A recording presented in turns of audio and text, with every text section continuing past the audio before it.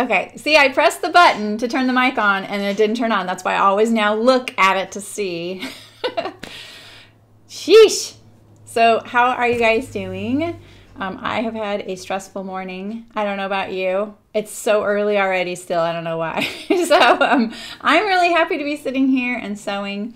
Um, and this, I know I just sewed this for you guys, but I it just popped into my head and I kind of wanted to like crank out a couple garments this week. Um, I was going to go out of town on Sunday and I'm not now, but I just thought, you know how it is. It's like right before you go on a trip, you want to make yourself something. And this just, I don't know, sometimes something pops in your head and you just want to do it. So I know you guys relate to that. So I'm doing the same jacket, the Haori, but totally different. It's going to be completely different animal. Um, I'm going to do it unlined so that uh, you can see that you can just sew it without a lining. You just have to treat the collar a little differently. Or not actually differently, but you need to probably line the collar or edge finish the um, piece. And I decided to, at the last second, cut out a um, undercollar for mine. So I'm going to bind almost all my seams. Um, and I know a lot of people aren't very comfortable with binding, but I'm here to tell you it's not that hard. Uh, it just takes practice and I've had a lot of practice. That's all it is. I'm not an expert. Excuse me. I'm not a quilter. I don't I don't bind the same way quilters do. I bind um, the way I taught myself how to bind. And um, I try and do it the most painless way possible. So I hope that you'll give it a try. So um, here we go. Um, and then the other thing I wanted to mention was that Saturday I'm going to hem my little dress that I made the other day and finish it up and maybe do my buttonholes. And I'm going to sew another pair of ginger jeans, but I'm going to sew them straight, just straight through um, speed run style, you know, like like there's uh, you know gamers do games in a speed run i know you guys will probably know that but it's true so i'm gonna do these and i'm not doing it to show how fast you can sew gingers. I'm not gonna I'm not gonna like speed up or anything. I'm just gonna keep going. You guys have seen me sew those a couple times there, and I've sewn I think three pairs of pants on here. So if you want the like step by step where I'm explaining things, it's there. And so I just thought I would show that once you get the hang of it, you know, you can just kind of sit down and do it once you have your pattern fitting the way you want, right? That's the trick. Because then you can confidently go about sewing it and just worry about the sewing, not the fitting. But when you're worried about both, it's a lot. It's a lot of work. So, so how are you guys doing? Can you guys all, excuse me, see me and hear me well? Um, does the lighting look okay? Tell me what you think. Um, I did bind one edge of my pocket because I wanted to see if my needle was going to work because all I have is a size 18 needle or 14 needle. I knew 14 would be good for this boiled wool once I get a few layers. It'll be a little too thick for that. Um, and then I uh, test bound this little piece, which look, this is like the best binding I think I've ever sewn in my life, except that I forgot to um, sew my sew a little bit right after I threaded my bobbin so I can see like there's thread there. that looks okay, but you know. So now I'm trying to decide how I would like to put my finish my pockets. Hi Carol, hi Olivia. Olivia, thanks for ordering things. I saw you ordered a few things. That's awesome. I love it when I recognize some of your voice uh, names. I'm not really that great about recognizing things. I, I feel terrible when I miss people. I almost missed a good friend the other day in my orders. oh, good. Thanks, Carol. Thanks for telling me that. Um, okay, so here's my front. So I'm making the shorter version. I actually feel like you know, maybe it could be a little short. Yeah, I'm not going to make it any shorter. Um, so here's the deal. I could, I could have just hemmed my pocket, but I would have had to finish the edge, right? Um, this, like, this isn't probably going to fray or anything, but it does feel weird as a sewist to not finish the edges. Um, and I had to get over that when we dealt with vinyl. Like, I did bind vinyl occasionally, but it wasn't necessary, you know? So, I thought, well, maybe I will bind this edge and then turn it and hem it on the inside, you know, so you see a hemline. And then I'm going to bind around the edge and I'm going to top stitch the pocket down. So totally different than the instructions. awesome, Olivia. You hate sewing it. You mean you hate cutting it? Because you bought some, so now you have to sew it. but you don't have to sew it. You can do all kinds of fun stuff with binding.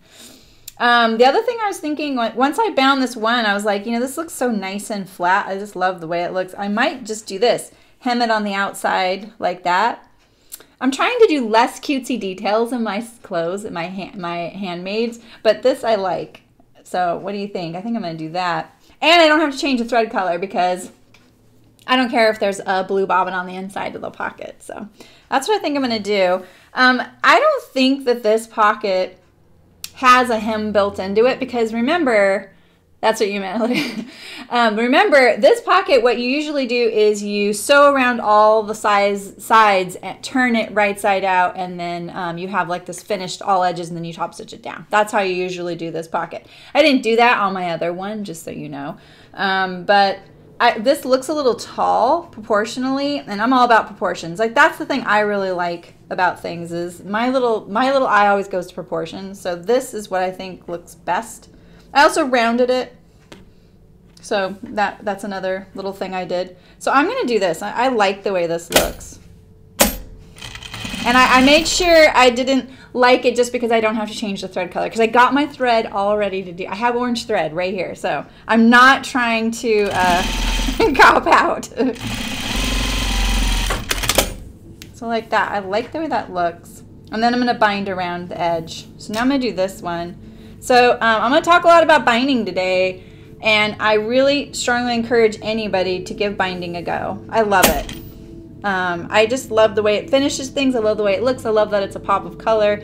Um, there's just so much use. It doesn't fray. So I I have one and three eighths inch bias, and so I'm using the width of my presser foot. It's like a fat quarter of an inch, maybe a quarter of an inch, something like that. I'm not going to pull this binding. Usually when I do bias, and you'll see around the edge, I will gently pull it so that it's a little stretched when I put it on. And that's um, so that when it rolls under, it wants to do that. I'm not going to do that on the top of this pocket because I don't want to draw my pocket top in like that. And bias will do that. So the other thing I should note is that this boiled wool is dry clean only. Um, I probably would not have bought it had I realized that. I was thinking boiled wool means it's already like I can wash and dry it. I if I wouldn't have had this idea for this garment, I probably would have test washed and dried a piece of it to see could I could I just wash and dry it anyway. Because I do I do break the rules like that, you know? All right, I got a little bit off right there, so I'm actually going to fix that cuz that I don't know if you can see it. That will bug me. I'm going to try and take it out, not near one of these dots so that I don't have a back tack there. You know, because uh, I can hide it kind of in the navy blue stitching. I, I thought, oh, maybe I'll just do this, but I got off right there too. And I really like the um, orange dots showing better. So I'm going to do do it this way. So, so yeah. And when I go around the perimeter, I will gently pull it because it's a it this edge right here, this cut edge here, is a different length than where the, the binding is going to finish on the inside because when it gets down to the curve it's going to be a little shorter of a length. So I do want it to be a little bit pulled and stretched so that it's really easy to turn under that edge. I try and set myself up for success, you know, especially with bias. But, you know, this is, you know, really kind of hard to see my little boo-boos because it's so dark. I cannot grab my thread there. I don't want to pull the um, fabric. I don't want to snag it because it's a print. If you snag your fabric, sometimes it will leave like a white streak through the fabric and um, that I will end up taking off completely if that happens. Okay, so there we go. I just took that out and now I'm going to kind of pull it over there when I sew it this time to make sure because it, it has that memory, that sewing memory. It wants to go back to where I did it the first time. Gonna, I'm gonna hold it over. So here's my line right there that I'm trying to cover. I'm gonna hold it just past it. It is really trying to push it over there. And partly it's because the wool's kind of thick, you know? It wants to push it out. All right, so let me hem this. We'll finish the pocket. I'm to check my height here. What I'll do is this. I want my pockets to be symmetrical, so I'm just comparing them like this. anything to make it easier, you know? I had to uh, release some of the pressure of my presser foot as well because of the thickness of this. Now I sew really thick stuff on the regular, probably not in the future anymore, but um, this is different. When it's already a little thick to begin with, it's just gonna build up. And so I could feel that my, it was kind of, it was like it was sew sewing through molasses a little bit. And that's why I released some of the pressure of my presser foot right here. So I just unscrewed this a little bit. And that's all I have to do on my machine. On some home machines, they put it in a really weird place. But I highly recommend fiddling with that anytime you feel like, oh, my machine feels like it's dragging, or um, say you're using a, fra a fragile fabric or one that the print is scraping off of because of the feed dogs, try releasing some of the pressure. Or, you know, if you have a fabric like that, then uh, probably put that side up, not towards the, the feed dogs. I don't know if that's ever happened to you guys, but it's definitely happened to me, especially on the Spoonflower stuff where all the ink is sitting on the surface. Because this hasn't been impregnated. Like, this is the way this is printed is a completely different. I don't know about printing processes, so if anyone knows anything, tell me. But that's why um, the Spoonflower does that. All right, so I'm going to start from the back of the pocket and go forward. I'm going to wrap this around the top like this so that my, my edge is nice and finished up there. I'm going to kind of, I'm pulling on it a little bit because I really want it to be snug up there. It's just going to loosen up. That's how I know it. So I'm going to gently pull my bias like this. I, I don't recommend using pins. I'm lifting up my presser foot a lot to release the pressure because I don't want the um, corner to get stretched out. You know what I mean? I don't recommend using pins because you might want the maneuverability of the bias. You see how my bias is already standing up? That's a, that's a good sign. That means it's a little shorter. All right, I'm to cut it about an inch past. I'm going to pull it a little bit. I'm going to wrap it around and then there we go. I'm going to look at the edge right here and I'm going to trim it to make sure that it's at least smaller than the width of my bias. Because uh, my bias has to cover that. It becomes more logical the more you do it. All right. I just I just hacked that to pieces, didn't I? it's okay. We're to cover it up even, you want a nice even trim. Um, and then fold that over. Just like this. So see, now I have my little pocket. Now, there's a, there's a few ways we could have done this. We could have bias trimmed it so that the bias all sat on the top, right? Like, like this, right? We could have done that week, but the way I'm doing it is I'm doing it on the edge like this. and then um, we could have had it if it was just on one side. It could have been on the back side or on the top. So there's lots of ways to use the bias. Just experiment. You kind of get the hang of like what you like and what you don't like. They're all about the same to sew. This one probably is the the so-called trickiest, but I actually feel like they're all about the same. So I'm going to try and get my corner right up here to be nice and square. Could you see it was trying not to? What I have learned, like when I do this, is that um, I used to pull tighter and tighter and it would make it more and more messy looking. And so sometimes you got to do counter to what you think needs to happen. Pulling tighter is my MO. I pull everything kind of tight, you know? I don't knit tight amazingly. I did when I first started, but when I'm sewing, I tend to like pull my pieces together um, and I find like I did all that work on the pattern and make it like fit perfectly and then I just foil myself with the sewing machine. That That's my MO. I'm always pulling on things. So when I got to this, I finally was like, okay, you have to try something that's not intuitive and that was to relax it so i just kind of relaxed my corner there rather than like pulling this really tight and pulling this down really hard because then when I go to do this, I get this weird little angle, right? I don't want that. This is going to get a little tired of me fussing with it. So if I do this kind of relaxed, I fold it down once, and then I fold it in. It's going to fold more natural. Oh, it didn't do it that time. It did it the first time. It's going to fold more along the line right here. I'm still not getting it. It's a little thick. Maybe that's my problem right now. So let's see here. I'm going to see, maybe if I pull it a little over this way. Eh. I'm going to pull it out this way. This doesn't seem like that's what I want to do. I may just have to deal with that. I got it right one time. All right, so let's let's pull this down a little bit. I don't want this edge right here to get too ratty because then it'll peek out.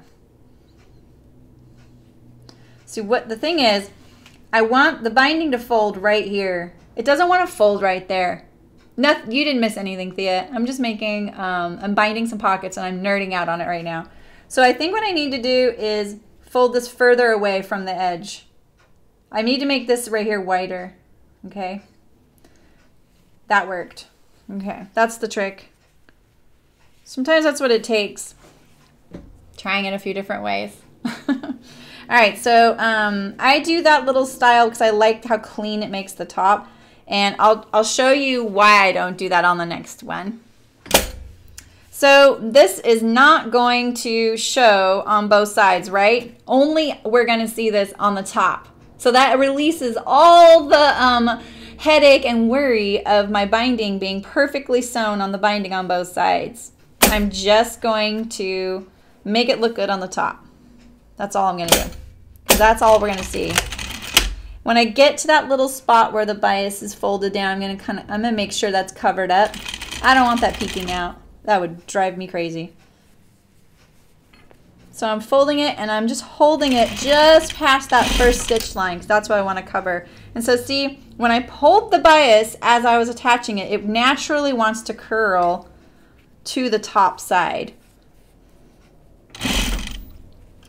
All of this is so stretchy. The boiled wool has a little bit of stretch. The um, bias has a lot of stretch. And this curve has some stretch. I'm just using an awl. I use a tapered tailor's awl, not the, um, I don't know what the other one's called. They make, they make at least two. I use the one that's not as sharp. I don't, the, the sharp one just pushes right through the fabric and I can't really get a purchase on it. You're avoiding binding like the plague, girl. No! Just do it on some scraps. It's really fun. I love it. It's just one of those things. It's so satisfying and it finishes the edges and you can have so much fun with it. You might start seeing a, a lot of it late uh, soon because I've been missing doing it lately. Hope you guys are up for it. You're gonna get so sick of hearing me describe how I do it, then you're gonna then you're all gonna want to try it. All right, so when I get to this point, I'm trying not to push this this way. I want it to stay straight onto the pocket, and I'll, the reason why is I don't want extra when I get up to the top, and I don't want to stretch out this leg of the pocket. So I'm already kind of looking at this right here and making sure I'm going straight onto the pocket. I just know that from experience right there. So now I'm here I'm going to do my little fold thing. I learned on this one that I need to fold my first one kind of far from the edge there. Fold it again. And fold it over. So I, I learned something today. That's great. That one doesn't look as good, but I'm also going to top stitch this edge down onto the jacket. So here's my first little pocket. I have some little puckers, so I'm hoping that I can kind of make those relax a little bit when I put it on the jacket. I think that looks pretty cute. Does it look over constructed to you guys? Like maybe I should have just done this. What do you think?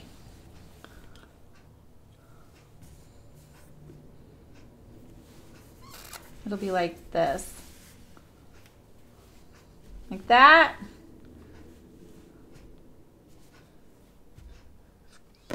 What do you guys think? Maybe I should have done the bias on just the top. What if it was like, I, I thought about doing this, but I didn't like the idea of it funny enough. Now I'm like, hmm, maybe that was the idea. Maybe I should have done this. It, this just looked really kiddie-ish, like kids, you know? Like binding all the whole perimeter like this looked more juvenile to me. I used to work in kids wear. This way, you like that, Carol? I like that too. I like that it, it does look a little bit kind of um, architectural, you know? All right, we're going to stick with that then. That was the right answer. now if four more people are like, no, I like it the other way, I'm going to be like, no, Carol's right. okay, so I'm going to start. Now, the reason I don't, well, here, I'll, uh, I sh I'll show you when I got this on. I'll show you why I fold my little thing in that weird little way. That took me figure out, forever how to figure out how to do. All right, so I'm gently pulling this. I'm not pulling the pocket, just the top. And uh, I lift up my presser foot a lot as I go around the corner, mainly because this fabric has stretch, it's on the curve, and the wool is a little thicker than just regular old, you know, wovens. Wool, this boiled wool is not a knit, I don't think. Doesn't say. Yeah, not the whole border. Cool. You like more edge? All right. All right. So let me trim my little edge here, especially where these thicknesses are.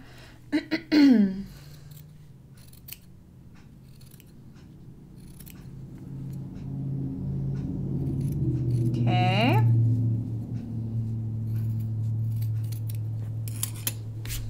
All right, so the reason I do that little folding trick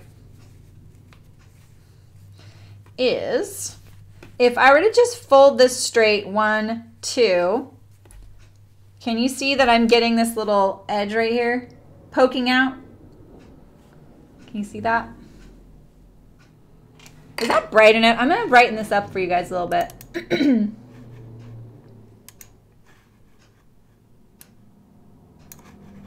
Is that okay? So see, if I just fold this straight like this, this first little corner right here, it'll poke out. That's why I don't do that. You don't have to do it the way I do it. I just got sick of that on my other stuff. All right, so I learned that um, I need to fold the first one, make this kind of wider than usual, this little distance between here and here. And then it wants to wrap around the edge a little bit more crisper. okay, good, Darcy. I kind of thought that's what you meant. Yeah, it's a it's funny what you can picture in your head, and then when you go to do it, you're like, huh, that's not what I thought it was going to look like. All right, so this little edge down here, I'm poking that inside. My awl is so handy for that. You can try using pins, but um, the pins also, they're so thin, they go right into the fabric and then um, they don't grab it. Like this is like, it gets fat enough, fast enough that you can grab the fabric without it poking through and losing your purchase on it.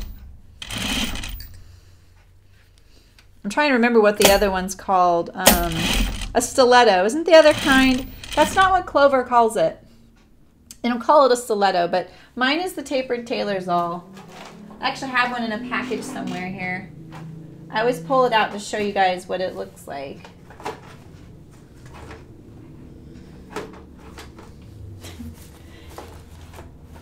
My office is in such a state of flux right now. Oh, here we go. That's what I get. Yours will be nice and white when you buy it. Mine's yellowed. I had this so I know it looks it looks vintage, doesn't it? It's not. I've had this thing for I feel like I've had this thing for probably 16 years at least. I had one before that in college. Um, and they the school issued me one and it was a blue handle and more bulbous on the bottom the at the base there and it was like this and I love that thing and it just disappeared one day I've never seen it. Um, and um, I used it then too, but not for binding. And then I bought this as a replacement. And I just lucked out that I got the right kind, but it was the same kind of tip. All right, so I'm gonna fold it far away, fold it over, fold it over, hold it. No need for pins. I've got my awl and my presser foot to help me out. All right, there we go. All right, so I have my pockets marked. So when I mark my pockets, I always poke into where the hole is. Into where the hole is. On the pattern. But I knew where this was. The ballpoint in, no. No, you. it's still pretty sharp. it's just not the stiletto style. Okay, so uh, when the pattern piece is there, I poke my pin in straight in, I put and then I um, use the back and I poke where that pin was in. It doesn't look like it's straight now, but it's because it's just moved around a little bit. And then, um, and then before I, I just do this, poke it all the way through before I get to the sewing part of it so that it doesn't fall off. And then I get here and I pull them apart and now I have my pins right where I want them. Just like that. And now I'm gonna secure all of them by just poking them all the way through like this, finishing it. All right. That way I know I get it on the right and the left, you know? Uh, there were four marks, I'm pretty sure. I only need the top two.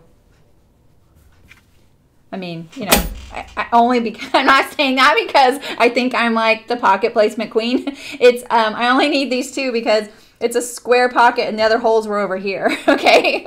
All right, so what I do is, um, well, first I trim this thread because I don't want to immortalize it. All right, so I'm going to look at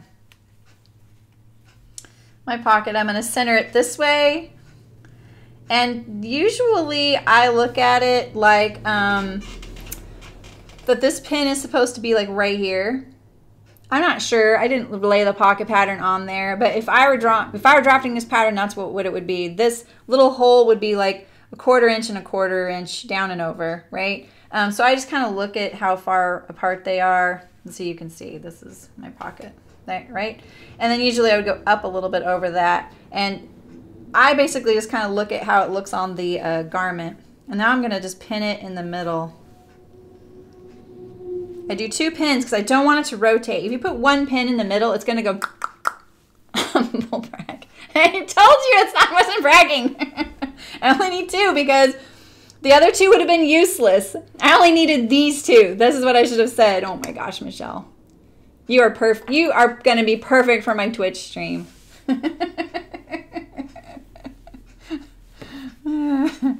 okay, so uh, same thing. I always know that it's where the pin went into the fabric. That's where the marking is. And I'm going to kind of look at them side by side like that. Make sure. Probably doesn't look straight on your on the camera to you guys. The camera's in a little bit of an angle. All right, here we go. So I'm just making sure that this is nice and smooth in between. Like that's where I want it to be like that. I'm gonna put a couple extras since there's a little bit of wibbly wobbly going on there um, so that I know I get my non-negotiable bits in here like that.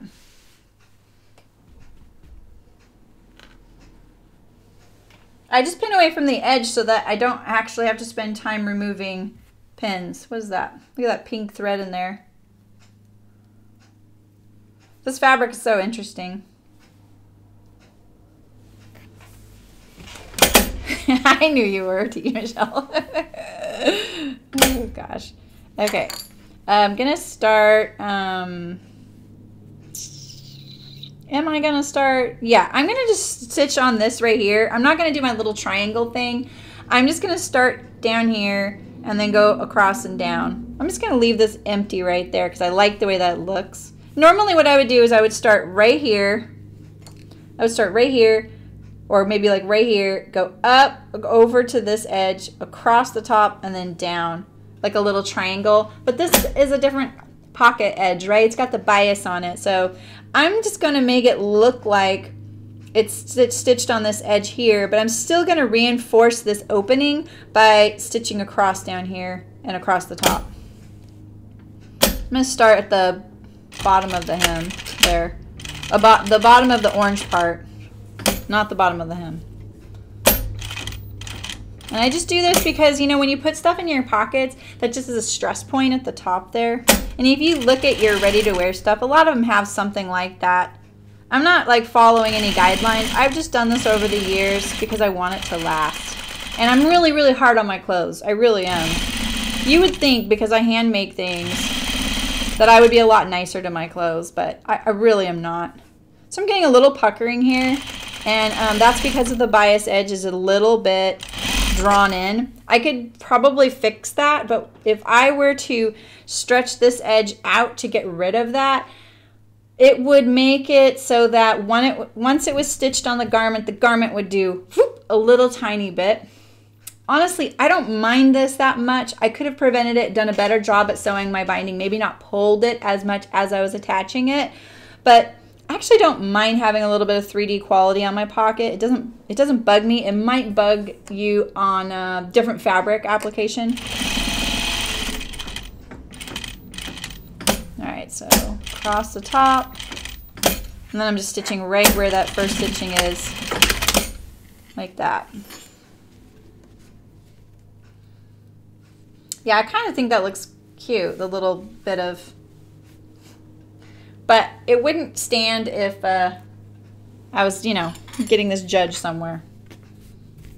See that? And see, now my top is really secure. Because, you know, like if it were just stitched right here, it would feel a little flimsy, you know what I mean? All right. Let's do our other one. And then we're going to start putting this together. Oh, I'm on the wrong side. I was like, why, why do I want to start over here and go that way? that felt weird. Glad I didn't start.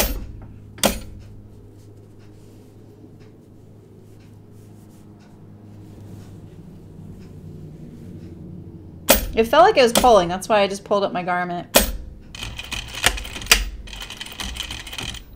Can you guys hear how thick it is? It's pretty thick. I'm hoping that I don't have trouble with the seams. My bias is not that wide. I may have to do some grading of the seams. I like to try not to stop when I go around curves so that I, I don't get a little like, you know, point in my stitching if I adjust. You know what I mean? That happens to me. Bugs me. This looks like a, a little wingy, like it's winging out a little bit. Uh, I'm going to try and check that as I get up here. The binding is a little thin right there and thick right here. It doesn't look straight to me. I'm hoping it's just an optical illusion. Yeah, that's an optical illusion. Okay. That made me a little nervous. All right, so let's uh, trim this little thread. Did I trim my thread on that one? All right, get rid of the pins.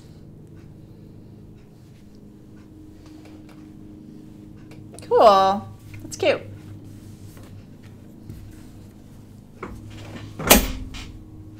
Oh, nice, Judith. That sounds nice. Are you a teacher or a student? That why you're on spring break? Ours is next week, and I actually am taking some days off the beginning of the week. We'll, we'll see how that goes. I have a lot of packages to ship, and they're taking me like 15 to 20 minutes per package. So um, I'm a little like, I'd rather get that done, not have that sitting there over my head. All right, so I'm gonna do my shoulders, not my collar. Here's my shoulder seams.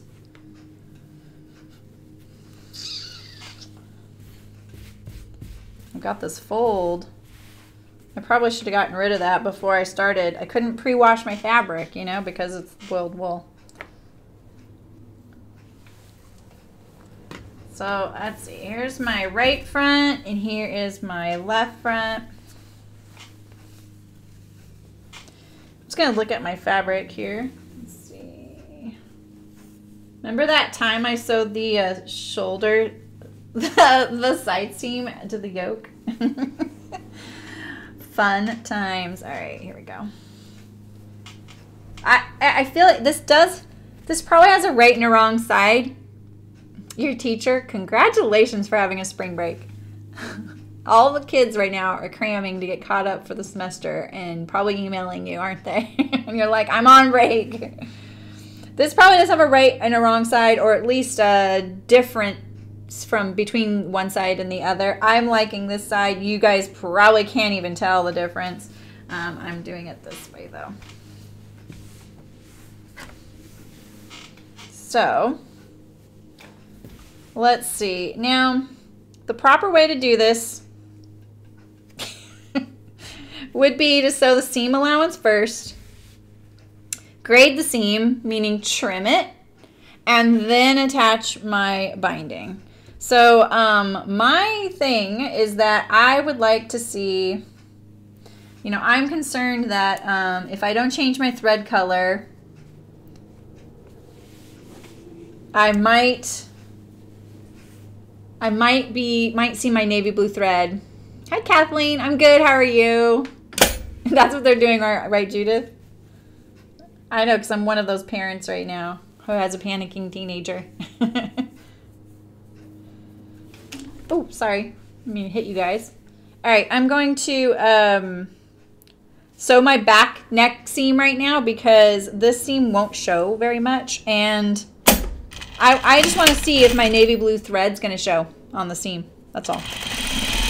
I don't have scrap fabric. I should have some here and I forgot.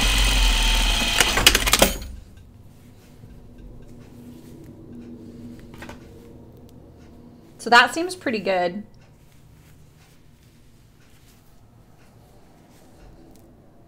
If I pull really hard, but I'm not going to be pulling hard. If I pull gently, like a shoulder seam would be, it still is not showing.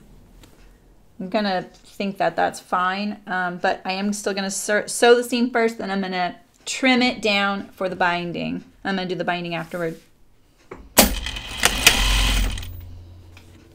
I cut this fabric so close. I have so much of this fabric, but the way I put it on the, uh, when I cut it out, was so that I could have extra. I, goodness knows what I would do with a yard of this stuff, except make another one of these.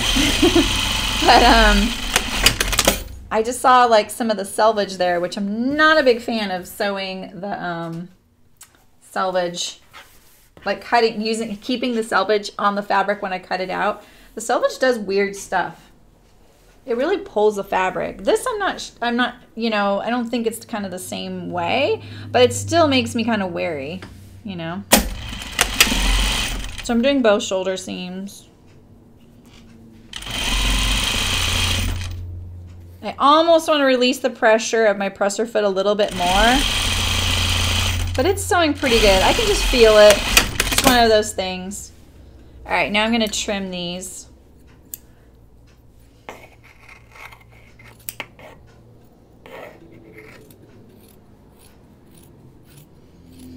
The other reason I'm not going to sweat my thread color is that there is a chance that one of my binding seams may end up being the seam of the shirt, like if I go a little bit past this. I did not need to sew the seam first. I'm just doing it to make sure, you know. If you weren't watching me, would I maybe have trimmed this and then put the binding on as my first seam? Maybe. I'm not sure. There's no rule. We're not sewing couture here. So let's see. Um, trying to think about this. So if this is my garment, I want my shoulder seam technically to press towards the back, which means um, my binding should probably finish on the front panel. And I'll, I'll tell you why in a second.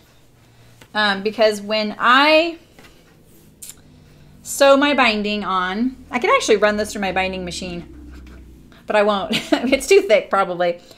Oh, I got a little hacky and slashy there, didn't I? So when I put my binding on from the back and then I go to the front, it puts the little fold edge on this side. And that fold edge might be just past this seam right here. That's why I know that it would be better if um, I finish it on the front because I'd rather the seam get pushed towards the back if it's going to get pushed one way or the other, and that's going to encourage that. If I had done it the other way, it would encourage the seam to be pressed towards the front. I know this after years of sewing bias, so um, I, I kind of wish I was sewing this on the other side too so that I could see my seam. I'm just going to check it as I do it. I'm not going to pull it.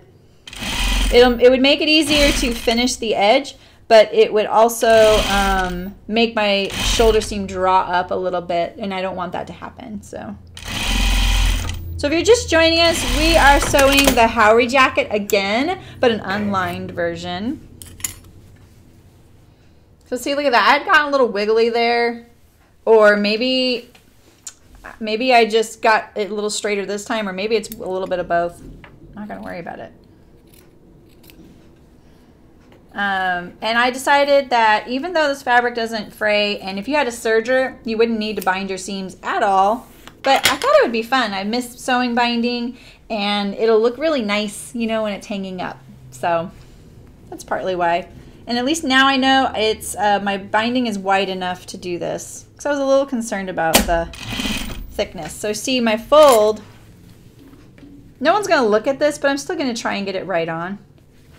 Um, I'm going to try not to sew past that seam since it is a seam this time, not like the edge of a quilt, right? The edge of a quilt, it's not going to be pulling apart there. I'm going to try and stay on the seam allowance. But if you were sewing a quilt right now and you really wanted to make sure that the bias landed on the bi the, the stitch landed on the bias on the top and on the bottom, you know, on here and on here, you want to make sure that you stitch to the right of your first seam there. That's how you do it. That's the only trick. So fold this right here just past that seam. Just cover it and then stitch to the right of the seam. That is that there's no trick. That's all it is. And it's just getting good at trimming your um, edge and folding it under. And I've had years to do this, not on quilts, but on other things.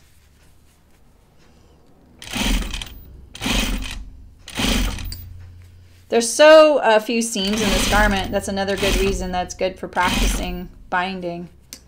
Not that you're, you know, you want to get good at binding for some weird reason, but I like it. So that's my seam.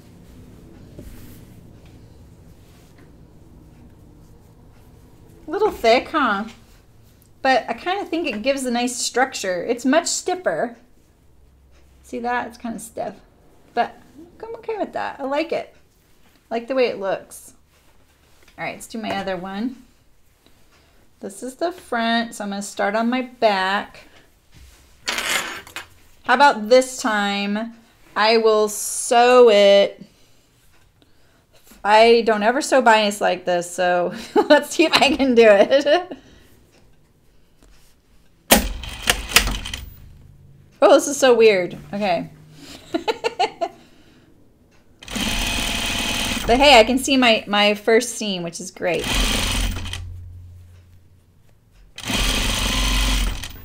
It's not that hard. Just try and keep it all relaxed here.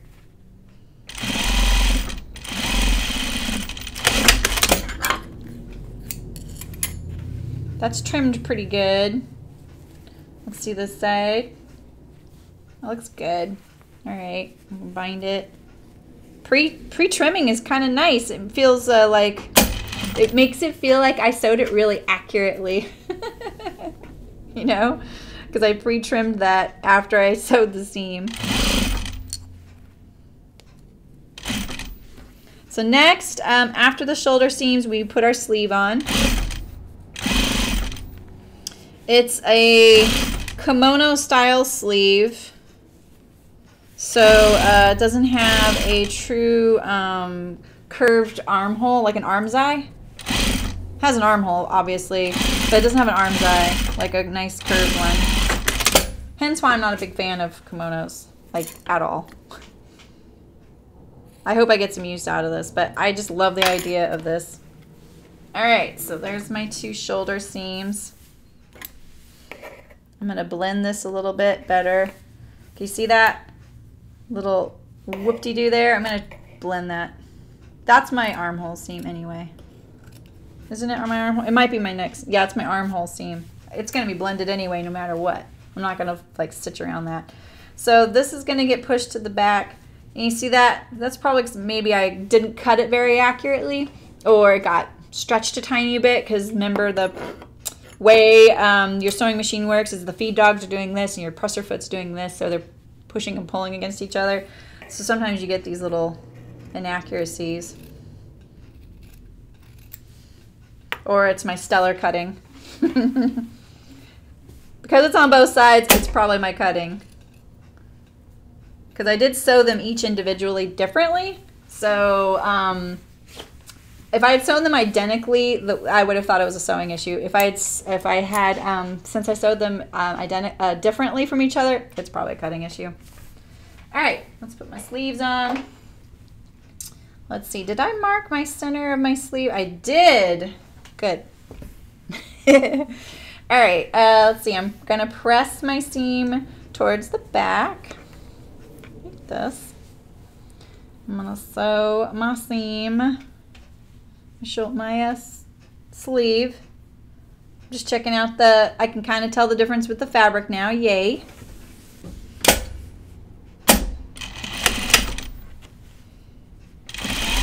There's no easing with this uh, sleeve. Seems like it right now though. Excuse me.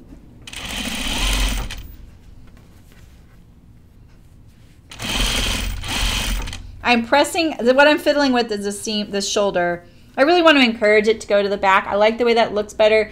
Um, I don't do a whole lot of proper around here, like, but I do adhere to some kind of kinds of things that I was taught, um, and pushing the shoulder seams to the back is one of them. I like the way the garment looks better. It really bugs me when ready to wear garments have the shoulder seam on the back you know, because it should be it should be right about here. Like this one's on the back.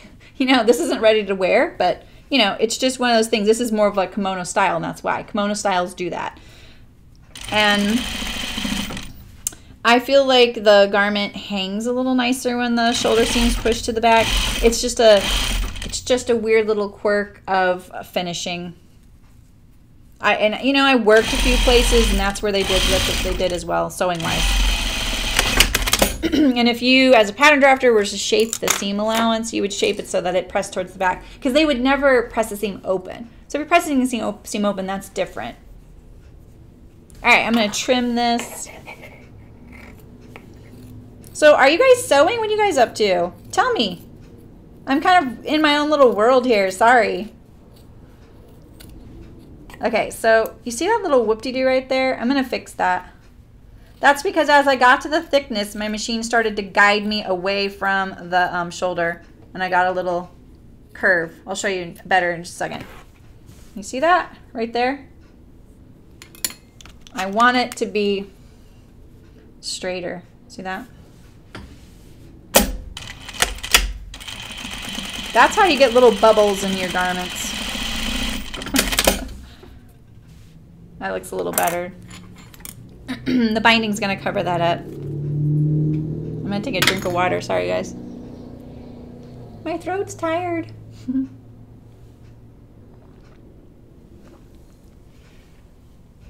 All right. I'm going to trim this a little bit closer than the other spots because of the thickness of the shoulder. It's gonna it's gonna balance itself out once I bind it. All right, let's do my other shoulder. Actually, I'm gonna do I'm gonna bind this one right now because um, I'm right here and it's a big garment. You're making a skirt block, Carol. Wow. You're still working on the, um, you're the one that was working on that. I remember that. That's, how's it going? Have you sewn prototypes yet? Or are you still working on your pattern pieces? All right, so I want my seam allowance to press towards the sleeve. So that means I want it, I want to start on the sleeve side and go towards the shoulder. I have to like work some of this out vocally. Oh, nice, Olivia. I love listening to things. But, you know, if I say something exciting like, oh my gosh, look at that unicorn, I'm going to probably distract you from work, so then you're going to have to look.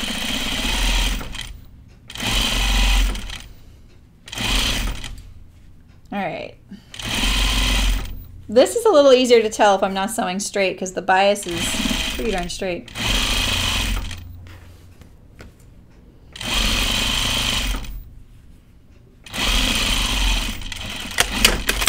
I'm going to leave a little extra hanging off like this. We don't need to finish it like we do the pocket.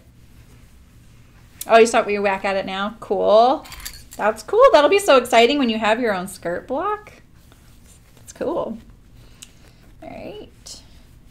Now say this was really thick and you could only bind to there. That's fine. I mean, unless you're, you really want it to look clean because you think people are going to see the inside. Remember, this fabric is not going to fray. I didn't back tack there. I don't need to because it's going to go in a seam. Um, and just in case I ever want to take something out, it is kind of nice to not back tack occasionally.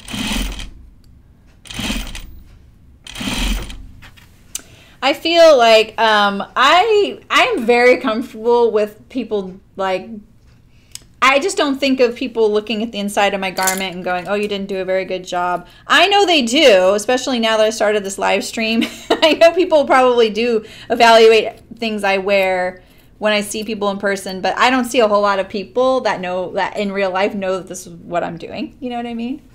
I was like, okay, Carol, see you later. and um, I'm always trying to stress that to people, like, you know, you just gotta, when someone says, oh, I like your whatever, you just say thanks.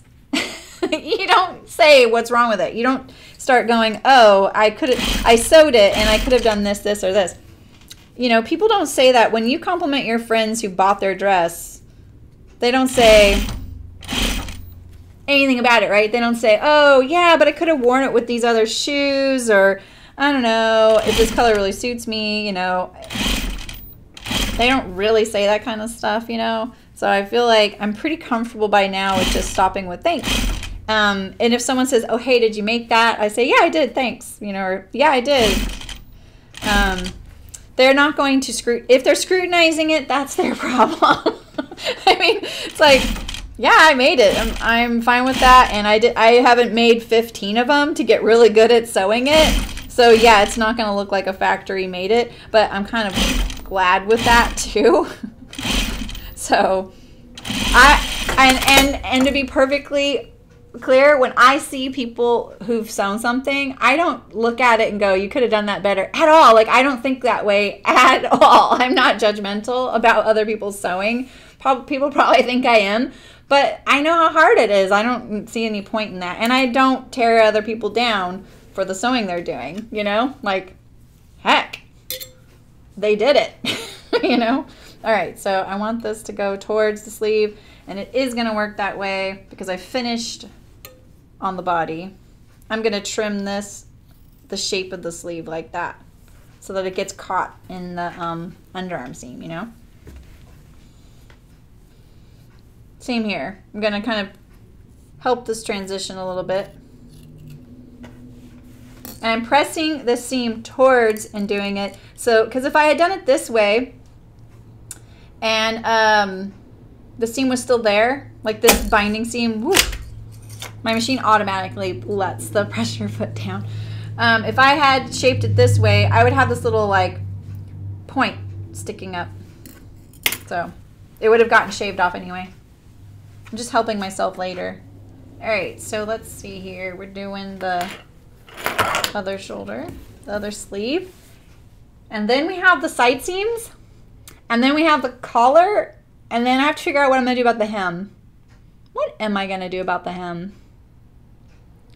I have to think about that. Hmm. I'm noodling on it right now. Because I could I could sew it with the binding around the edge, but that seems a little, a little too much. Um, I could uh, hem it, you know, just hem it. But I have to finish the edge to be able to do that. So maybe I do the edge, do the hem like the pocket. Um, one of the options I have is um, my serger does a, what do most people call it? I call it a Merrow edge. Does that sound familiar to you guys? A Merrow edge? M-E-R-R-O-W. Oh, I know. People call it rolled hem edge. It's not a rolled hem, but they call it that. I don't, I don't know why they call it that. Um, because it doesn't, it's like a rolled hem is when you roll the fabric twice. It's not serging it like that at all. It's just putting a uh, edge of serging on it that's very dense and sometimes you can set it up to where um, you can change the differential on the machine to do it and it stretches it out a little bit and then you get this ruffling effect like you see on kids clothes so it's also called lettuce edge like lettuce you eat um, but I can take the differential off when I do it and it just be an overcast edge I thought about doing that on my collar edge and on my um, hem but it's a little I actually like the way it looks when you have a machine that does a kind of an interesting serging stitch or a decorative one, but I don't have, mine's not that fancy. Um, I feel like it looks unfinished, but there was this big trend of people doing that for a really long time. All right. What was my little hiccup the last time I did this? Was it just that shoulder seam being not too straight? Because I feel like I, I did pretty good this time that's what I had to, do, had to deal with, right? So I'm going to trim this. I'm going to bind it. Do an underarm seam. If you didn't bind the edges and you did an unlined Haori, you can um, serge the uh, edges, zigzag them, and you'd be already done. You'd be way past me right now. Just let's put it that way. Okay, so I want my seam to be pushed towards the sleeve. So that means I want to start on the sleeve and end on the garment. So I have to say these things out loud. I have to figure it out. I, I just don't know off the top of my head. If I did that kind of sewing, like that kind of step over and over again, I would know what side to start on every time, but I just don't. And, you know, I had an old friend used to say, I don't want to store all that in the hard drive, like meaning his brain. And I kind of feel the same way. Like, I don't really want to have to remember everything. I'm not being tested on it. I'm not employed by anybody where I need to remember certain things. I just remember the things that I want to remember and then I figure it out later. If I just know how to figure it out, that's more important, right? It's kind of like if I know how to do the math problem, then I can do whatever problem I need later on. And sometimes I have little cheat sheets that I just write down and set next to me. And so then that way I don't have to remember things, especially in knitting. I don't know if any of you are knitters, but I have a few things written down. I have quite a few things written down. I don't want to remember that stuff. I just go to my cheat sheet. Okay, I trimmed. I need. I'm needing to trim this way too much. I feel like this seam is going to be, uh, this sleeve is going to be a hair shorter now, and my shoulder's going to be a hair shorter. I don't remember trimming the other side again, did I? All right. My hem here, or my binding hem here.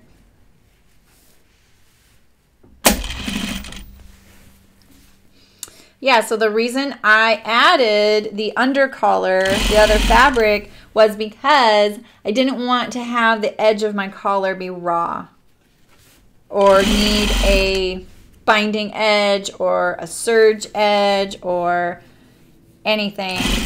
Um, so that's why I decided to do the under collar. Right, Olivia? I know, it really is. Like, why try and remember that stuff? And sometimes I'm like, oh, I'll never forget this, and I totally forget it. Okay, that's the that's the back. Okay, perfect, perfect. Just because I stitched it right the first time doesn't mean I stitched it right the first time. it just means that the machine didn't push it the other way. You know, the shoulder seam. That's a pet peeve of mine. All right. Try to just make this stop pulling on me.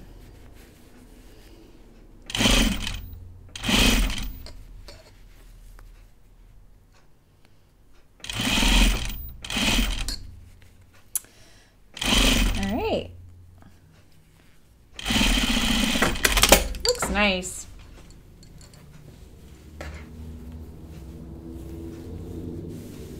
Yeah, so now see when I, it just naturally pushes this way because the fold edge is on this side going just past that seam. And plus, um, pushing against the shoulder is just a losing battle. I do, hi Ida.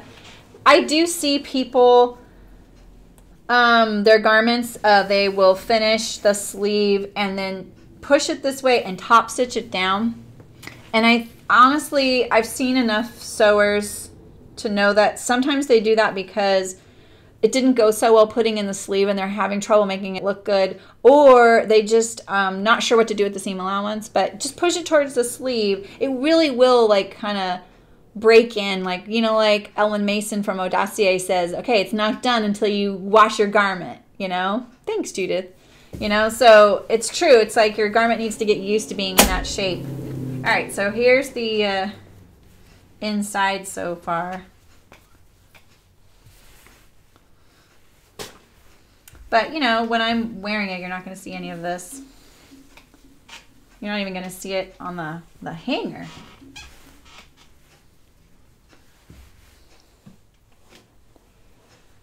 All right, so I'm going to do the underarm seam now. I was just looking at it. I just like to look at it.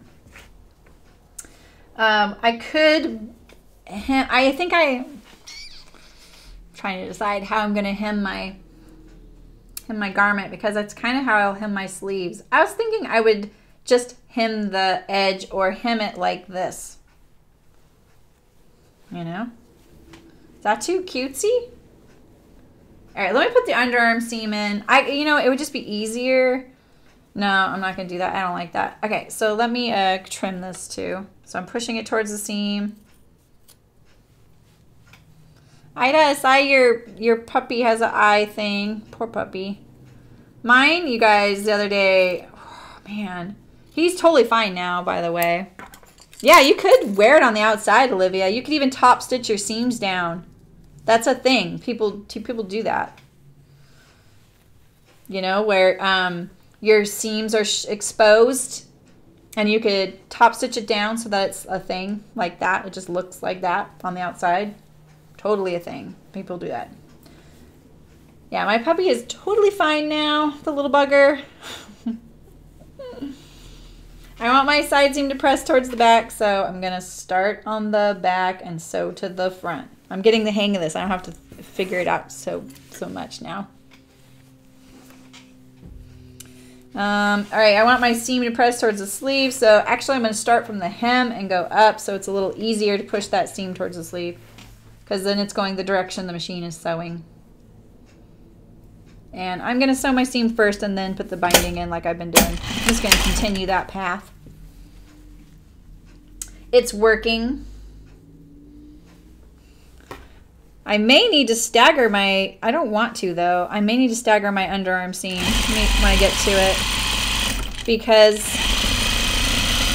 binding over this is going to be pretty thick. I've bound over thicker but, you know, I enjoy it.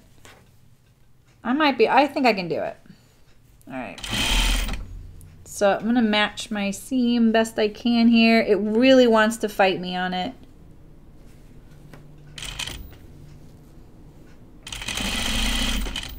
Okay, I'm get there. I'm trying to keep this seam completely on top. What it wants to do is push like that off, right? I'm trying to keep it straight on top of itself. I'm to use the awl to kind of tell it that's what I want it to do. Oh, that's good, Ida. What a good dog. I think I shanked my uh, seam allowance right there for a second. Let me see.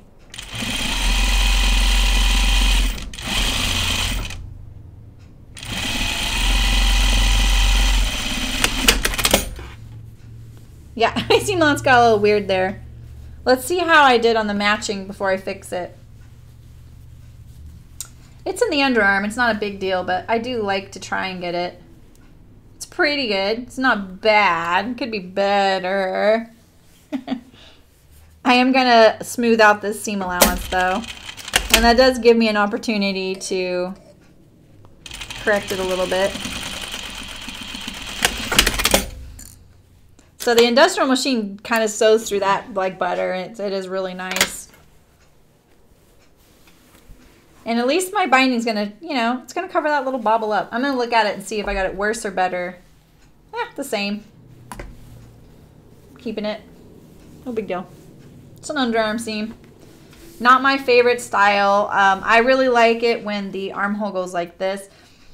And I didn't do that on here because it's flat. There's just no armscye. So sewing the side seam and then sewing this underarm seam and setting in this type of sleeve is really, really hard because this sleeve doesn't have right angles right here at the juncture. Right angles are really important in pattern drafting and sewing, and, you, and they are woefully missing on a lot of patterns, and they're really important. So if you don't have a right angle going into this seam and this one going into this seam, you can't have a smooth transition. And on a kimono style, they're just not present at all. This isn't a problem with this pattern or anything. It's not like a misdesign thing at all. This is how you do it. And that's why you don't set in the sleeve of a kimono pattern. It just isn't, it's just, it's more of a struggle than it's worth. it's like uh, putting something pointed into uh, a less, like a rounded, a more, uh, it's like a putting something that has a point onto something that's straight. That's how it would have been to do that. And I don't even want to sew that. so it's also why kimonos fit the way they do. They tend to slip to the back um, because there's no contour. And uh, they tend to also, um, if, they're, if they don't sit well on your shoulders, they can slip off your shoulders. This one doesn't, mine doesn't slip off though. I really, I, I'm liking wearing mine. I'm wearing mine more as a robe, the one I made the other day. It's a nice little house jacket and it's nice having pockets. Pockets on a robe, man, they're really important. I don't know why so many of them don't have it. I like these little scissors I got. There we go. I'm gonna do my other arm underarm.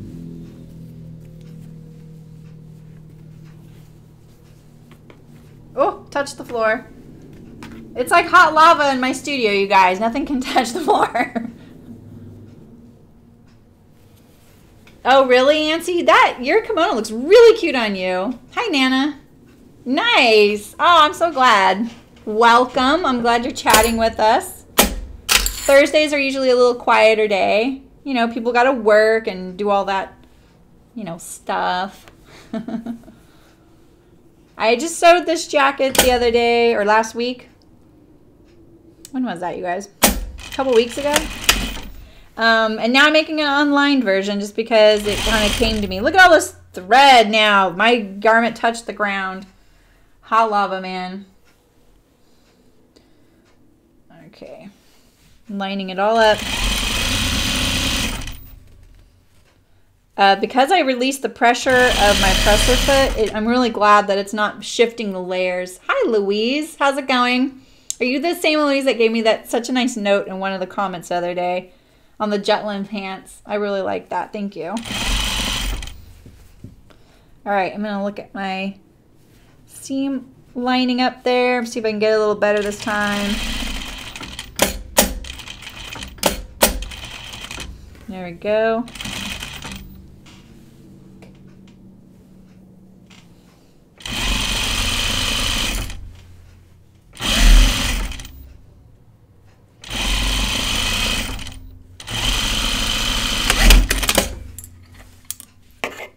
Oh, should we look?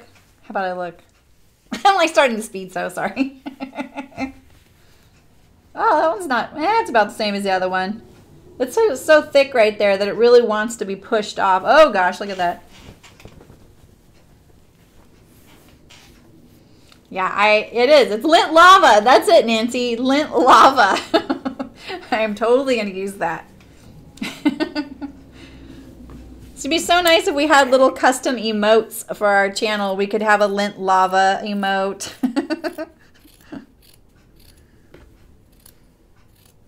I'm looking forward to having sweepable floors. I'm hoping it won't be echoey in there, but um, the sweepable floors will be so great. I use I do use a broom and sweep the floor in between vacuuming. Oh, I'm so glad, Louise. Thank you. I'm really enjoying doing it. It's really fun. I know it's nothing like, you know, you've, you've seen people like know the live streaming thing, but I'm hoping that you guys are all getting the hang of it and understand. Because it does seem to me like you're all understanding like what you can get out of this, you know, like we can we can chat. Yeah, dog hair, exactly. Yeah, exactly. Seam ripper emoji, absolutely. yeah, I think um is it Nancy probably wants a like a you know, a, a cocktail glass with the seam ripper as a drink stirrer, right?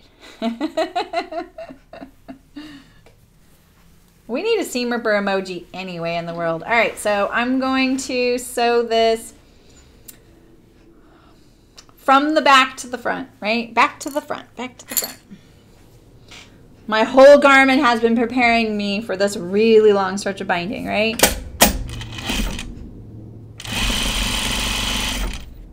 I'm gonna try and do it so that I don't have to trim at all. If I if I pay attention to what I've already sewed and I stay right up to the edge, I won't have to trim. I shouldn't anyway. I shouldn't keep just trimming my garment to fit. That's never a good plan.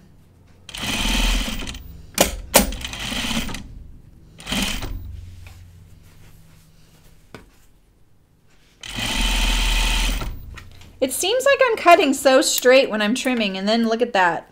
Like, what the heck?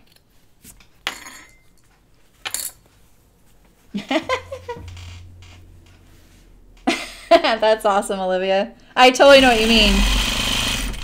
I will sometimes watch a stream from someone and they're not live and I'll try and type in the chat and I'm like, oh, they're not live. I forgot. That's the worst. I know that happens to a few of you here. This is a, this is not okay. I'm gonna straighten that out with my piece of bias here. It got a little. It could be. It could be a. Maybe it was straight and I just made it that way. You know thick, um, thick wool. It does that. we see you nodding your head, Olivia. We know. We know. Sometimes people's hands are busy, so they, they can't talk. All right, I'm going to go back and look at this. I'm definitely going to trim this because it's so thick. In fact, maybe what I'll do is I'll trim one a little more than the other. And I'm going to trim this one because this is the one. I'm going to trim this one still. But I'm going to trim this one a little bit more because it's I'm going onto that side.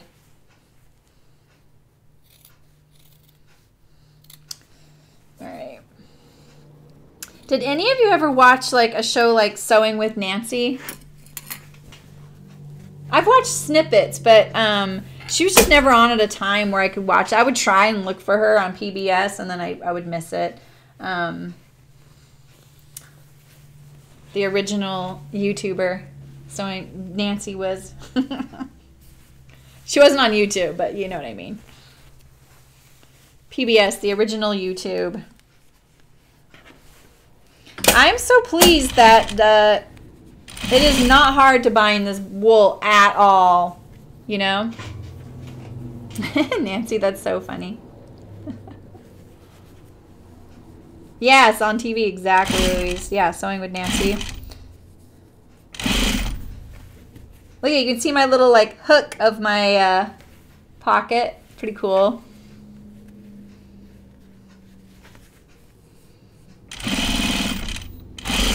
Probably a good reason that I could have used an orange bobbin because, um, you know, that is on the inside of the garment. Uh, you know, I'm not making this reversible, but still if you wanted it to be a little less noticeable.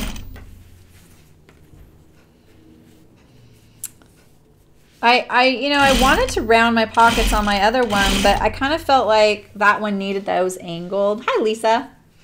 And, um, I'm glad I did it that way.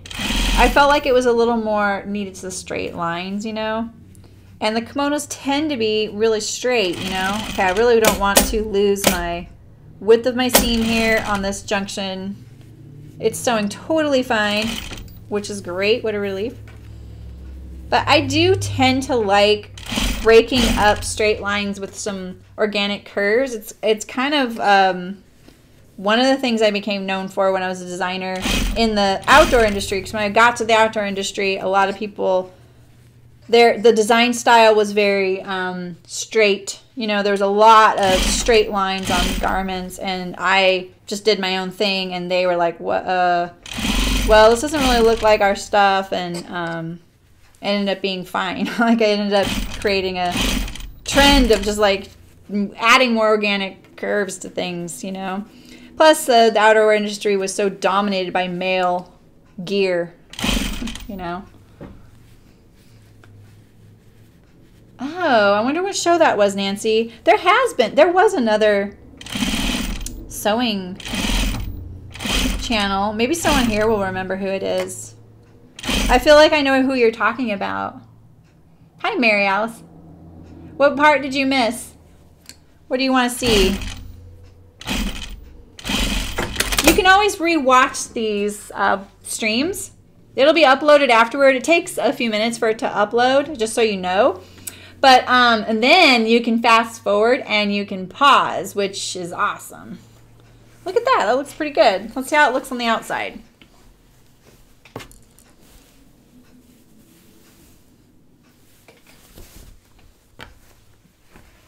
Looks, looks good.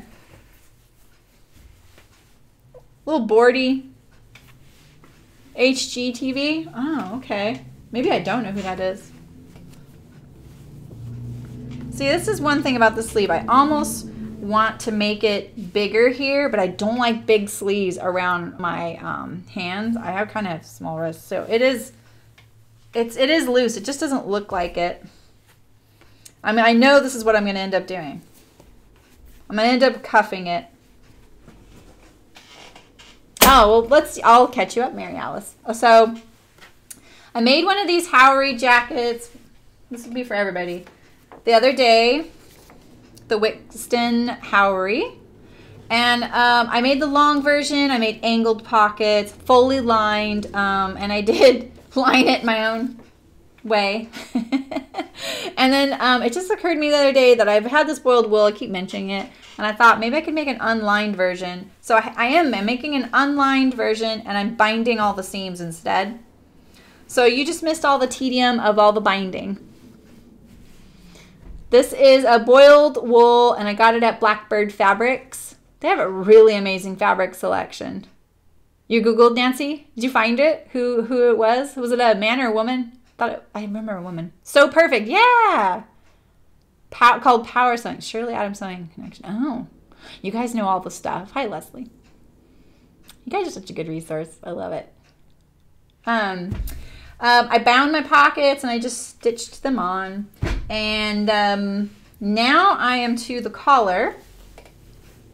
Oh, no, no, no. I got to bind this side. So I'm binding one more seam. I'll bore you with all the details on how I do it so that you don't have to rewatch the video. How's that? All right, so um, I want my seam to naturally press towards the back, so I'm going to start on the back, sew to the front, and then when I finish the binding, on that side, see this little fold edge pushes this kind of just naturally makes the seam want to push that way. So that's why I'm being particular about which side I start on. Just my own personal preference. I'm obviously not following the instructions, but when do I? I've already trimmed my seam, so I'm trying to not have to go back and trim again because I also don't want to just keep trimming my jacket. I've had a lot of practice, Mary Ron Collins. Oh, yeah, yeah, okay. That's cool. That's cool, Nancy. So at least now you know you can still keep up with them, right? A week-long sewing retreat. God. I want to go on a sewing retreat.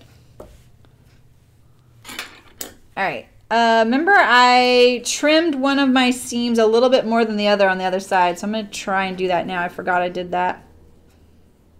Uh, this one is the one I got sewn a little wonky though. So I'm not going to get much closer there without unpicking. And I'm not unpicking. Not the boiled wool. No thanks.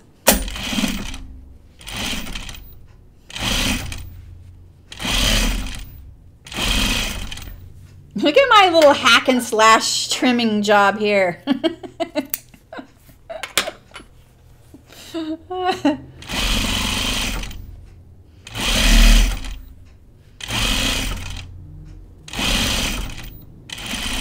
I just want you guys to know that I was a really bad sewing student. I really was. I was just like, well, why can't you do it this way? Why can't you do it that? And then I would find out why you shouldn't do it that way, you know? I'm a little stubborn. I agree. But I'm also very like, do whatever you want. There's no rules. if you like the results, that's what matters. If you don't like the results and you're lying to yourself that you are liking them, that's a different issue. And I've done that. I've been that that sewer and I still sometimes do that to myself. I'm like, it's fine. sometimes it's not fine. So I'm just kind of, I'm going back and just trimming this seam allowance a little bit. I don't want to trim it too much. I kind of like it when the seam allowance fills the inside of the binding. It looks nicer, it behaves better, it doesn't look like it's torquing. All right. This is my last binding seam. I gotta decide how to do the collar seam. my bravery with the trim, it's the seam allowance.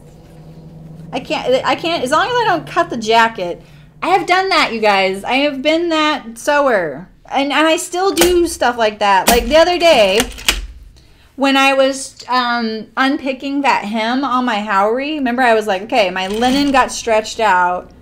And so I need to unpick the hem. When I was trimming one of the threads, I nicked the lining. and you can't see it, but you know, over time, it's a, like a little weak point. So you know, and the boiled wool is so easy to deal with. You really don't even need to finish the seams. It just might bug you if you don't. Some some of you, some of you might not care at all. Oh, I'm glad you do. Yeah, no, it doesn't need to be perfect. If if you were gonna sew like 20 of them to get it perfect, then fine. But um, if you're not selling it, I don't know. I don't see the point. Oh God, Nancy, totally. you guys have found your siblings. I used to think it needed to be perfect too, but that didn't last long. I'm just not not perfect. I and I I know that what you guys see, I'm, I'm making it look easy, which I I don't like that kind of sentiment because it's not. It's hard, and um, it's just because I've practiced a lot. That's all. I, I feel like I remember when my sewing took a turn for the better. I just remember I remember exactly where I was at. I remember where I was sitting. I remember I don't remember what machine I was at. Um, I remember the little apartment I was subletting at the time. I was about 26 years old, I want to say. I had moved to this little town and um, I arrived there with a backpack and my cat. Hi, Margaret. What? Piping for the collar. Go away. I might be able to do some edging. Let me think about it, okay? I don't actually have cord to do piping. You know, like the cord that goes inside. But you just need a, a cord and a zipper foot to do that, just so you know. But yeah, I arrived at this town. I had my backpack and a cat in my bag. I had a like a I have a cat carrier that's bag. And then I had all my stuff shipped on two pallets. So I didn't have much, um, but you know I had a sewing machine or two. No idea what they were now. And um, I was every day applying at different places to work. You know, it was a college town, so it wasn't easy, but it was summer, so they were all gone, and so I had a better chance. And I applied at a fabric store and I just oh you know I've done these things. I'm a pattern drafter in the garment industry. Industry. That happens, Lisa. exactly. I do too. I buy fabrics and I'm like, oh god, like invisible zippers. I suck at those, you guys, really badly. You're gonna watch me figure that out this summer. Watch. And um, when I when I went to apply to this fabric store, they're like, well, we're not hiring anybody, but here you go. Um, and they handed me like a, a, a, like a paper bag, like a flat paper bag. It was like this big, and it had this like weird pastel floral print that was really hard to see, very very pale. And they said you need to make something out of this. and uh, bring it back with your resume and a cover letter. And I was like, okay. I was like, this is cool. All right. And so then I came back the next day. I was like, can I have another bag? And they were like, oh, did you mess up? I said, no, I just need more. And they were like, okay. And so I, I ended up making my first quilt from this this paper bag and I just kind of selectively cut things so you could actually see a little bit of the pattern. I'm gonna have to show you this you guys because my mom saved it from the campfire. And um, I haven't told you guys that because it's really emotional for me. But um, so then I made the little quilt like an envelope with the top open and I stuck my put my little resume and cover letter in it and I quilted the top and handed it in. They were like okay you went above and beyond no one's ever done this before and um but they're like, but we're not hiring. And so then I got a job at a hardware store, and two weeks into it, they called me and they're like, uh, you need to you need to work here. We'll figure it out. And so I did. And so when I started working there, I was around people who really cared about sewing. They really, the owner really cared about sewing. I will admit, and I'm really sorry if she ever watches this. I doubt she will, but she's a snowing snob. And um, and she was very much only natural fibers. That's all she sold. She had a lot of really amazing um, ethnic fabrics, wovens hardly any knits at the time. Um, and it was just a really great place to be around people that were really into it. And they had a lot of folkwear patterns, and I could just really nerd out on it. And I just remember that was when I was just sitting at my machine. I was like, this isn't good enough. I am the boss of this thing. I'm going to make this do what I want. And I just didn't take no for an answer. And my sewing improved drastically from that point on and then I would get in a rut and I would just like be like, that's good, that's good enough, or whatever, or I, I just can't do it any better, or it can't be done. And then I would be like, no, I'm gonna figure this out. And that's how it happened. That's how I just kept working on my sewing. Is this my is this my neckline? It is. See, ah, see, look at that. I think I trimmed this going this way. What is this? Oh yeah, see look, I trimmed this going this way and it should be, I think I did. I don't know, it's a little ratty, maybe I didn't. I think I did, and look, see now it's too shallow. That's why you don't do that sometimes. See, this one's okay, it's okay, it's not great. The little quilt, yeah, I'll, I'll bring it sometime. Yeah, right, Nancy? Those, the, I really feel like, um, the needle sharp box are really great for stretching us like, okay, I don't think I would have picked this pattern or this garment, you know. Okay, so here's my collar. What do you think, Margaret? Do you think I could add piping to this? So this is my outer collar, this is my under collar. You, that's so smart, Lisa.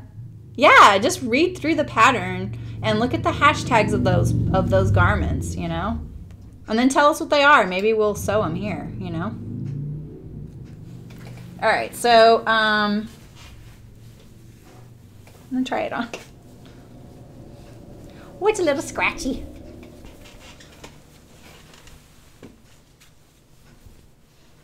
It looks a little big. I think the collar's gonna help. I think I need to cut off the sleeves. Oops, this way, this way.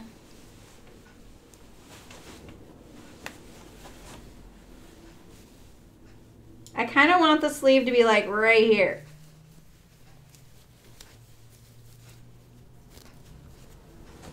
Let's see. The I, camera makes me go opposite. I don't know. Maybe I would want it like this. Would I be sad if I cut my short sleeves off that short?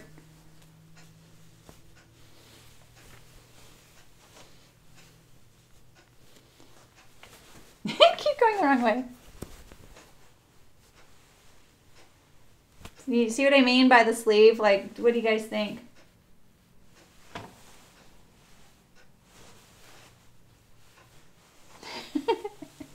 Walnut pants and toasty jacket. Who are those by? From Waffle Patterns. Okay. I'm going to check those out. All right. I will um, not cut the sleeve right now. Maybe I'll wear it for a little bit and decide later. Because that's a lot to cut off. It's like basically look how short the sleeve would be. but you know, the the shoulder line is like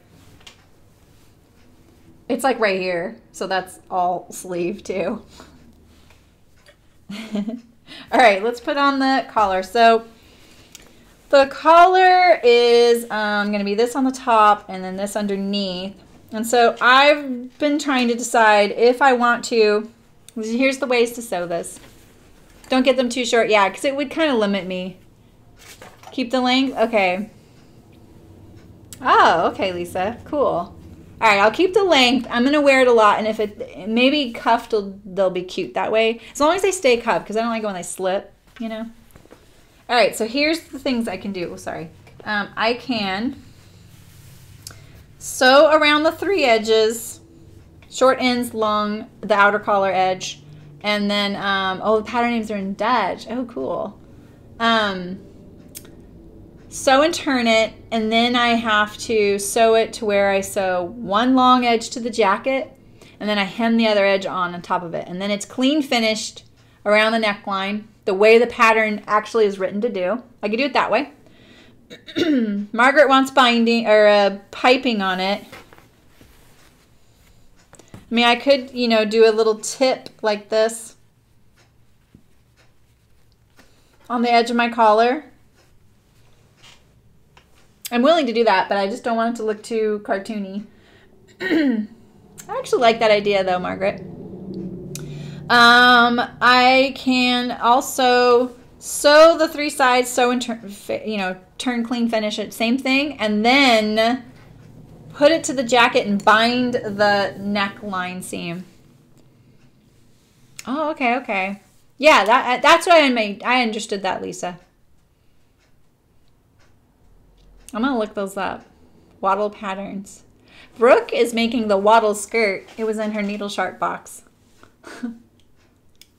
okay, so what do you guys think? Um, do we want a bound neck seam or do we want the turn clean finished seam? And do I want to do the uh, edge tipped? I'm gonna look, I'm gonna lay this down here and look at it. Cause these are kind of, you know, point and overturn questions. I can't really change it. So this is how it'll look. I'll try and give you a good idea how it'll look, okay? Let's see.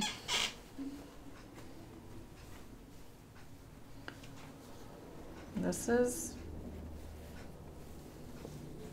like that. So it's going to fold over on itself and it might do this, you know, when I'm wearing it. I could do this little piping edge. I kind of like that piping edge, honestly. It's a good idea, Margaret. I could round the corner to go all the way, or I could just do it on the short, the long straight edge. Margaret probably left. She's like, ah, she's not doing piping. Forget it. I'm out of here. um, I don't have cording to make it pi actual piping to put in there. But um, if you do ever do piping, you guys, it's actually pretty easy. It's just, it's easy to sew. It's just hard to make it look really tight. And you need a um, zipper foot to do that. You have to press the cord and the seam all the way. Like you just need to snug it in there. That's how you do it. I don't do it a lot. I'm not a big fan of piping myself. But I think on the edge. Piping edge, you like that? I like it too. I think it ties in the pockets you know? All right, so um, I'm going to, I'm to think about this. And then I think, do I want to clean finish the edge like this or do I want to bind it? Binding it would be easier. Um, binding it would be easier for me, but Actually, I think I will bind it because I want the stability around the neckline. You know? I just don't want it to be uncomfortable. But it will be softer. Yeah, it would be softer. Okay, that's what I'm going to do. I had to think about that out loud. All right, let me sew my um, center back seam of this. Let's see. I actually cut this so that the pattern would kind of match. I didn't spend a lot of time on it because I spontaneously cut it. I could do a bound edge, but um, I felt like that that was going to be a lot showing. Like uh, it would be, you know, like piping is going to show like, you know, this much, as much as I want. Binding is going to show this much. And I felt like the little tiny tip. Yeah. You mean bind the neckline, Nancy? Is that what you said? Is that what you mean? Or do you mean the collar edge?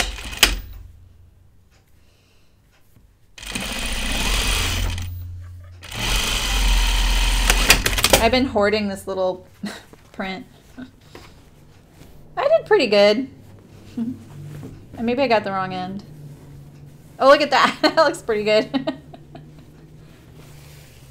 okay. So let's see here. Uh, where's my, uh, here it is. Let's get my jacket out of the way. Already sewed my center back seam here. Um, I'm going to put the binding, the cording on right now. I'm going to measure it too. my seam is a half inch. If I do a half inch seam, I would have that much showing. So that seems good. Okay, here's the risks with having a little piped edge. Um, there's a few. You can end up having a little torquing. It could end up looking a little baggy. yeah, bind edge. Oh, I don't know, you guys. Okay, so binding the neckline seam where the collar attaches, but on the edge, the tip of the collar that's showing, I'm to do the cord, the piping. Let me show you again. This is what I'm talking about. There's a lot of decisions. All right, so this is what I'm to do. This is what I'm thinking. I'm to show you the kind of the bottom down here. This is my under collar.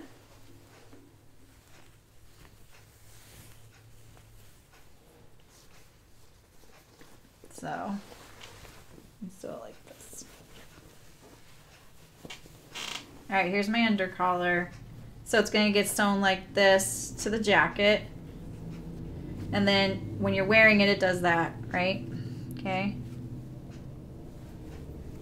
So it might you might end up seeing a little bit of the collar. All right, so the way I want to sew it is, because Margaret asked for cording, I can put a little bit of piping sticking out this collar edge, the loose collar edge that goes around the neck. And then the way I'm going to sew the collar to the jacket is I'm going to bind the seam like I've been binding all my other seams. That's what I mean by that, Nancy. This isn't really going to show. This will. So then there would be this little tiny piped edge around the edge. What do you guys think of that? If I bind the edge of the collar like I've been like I did this, it's a it's a lot. Like it's it would be the easiest way to sew. Honestly, would be to do that. That would be the easiest way. Um, it would be you know more like that much showing, and I run the risk of it pulling the collar, kind of drawing it. Why is it getting so dark on your screen again? Does that make more sense, Nancy? I'm kind of throwing all these terms that sound really similar to each other, aren't I?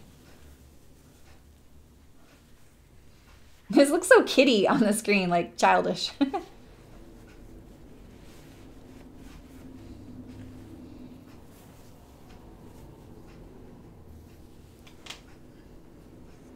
so do we want a little bit of edge showing like that?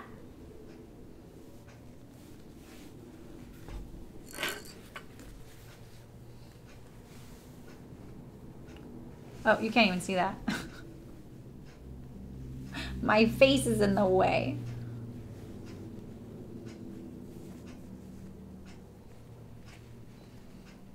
The I, I run the risk of the piping being a little, it might, it might not lay flat, especially when I go around the corner here, or I just stop it right there. You know? More, yeah, right, Lisa? I think so too. It should be more subtle, the bit, little bit poking out.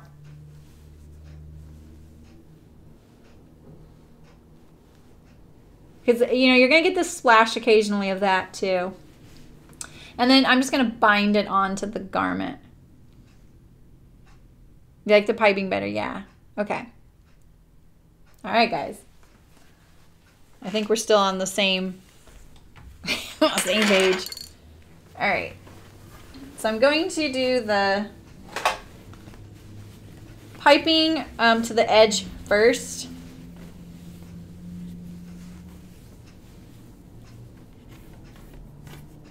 And I think that um, I'm going to um, not go on the short edge. I'm only going to do it on this long edge. And I'll, I'll, tell you the reason why. It'll it'll probably stand a better chance of looking the nicest if I don't do it, um, if I don't turn the corner. Turning the corner is going to give me some issues. So I need to, I'm going to experiment with how I'm going to finish this edge now. My needle is a little big for doing a, we're doing a little seam right there. Where's my, uh, where's my awl? Everybody, oh, it's right there. Nobody panic. Okay, so um, I convinced you, Mary Alice. I don't have to do it this way. Okay, so there's my. So that's what I'm thinking, like that. A little bit showing like that.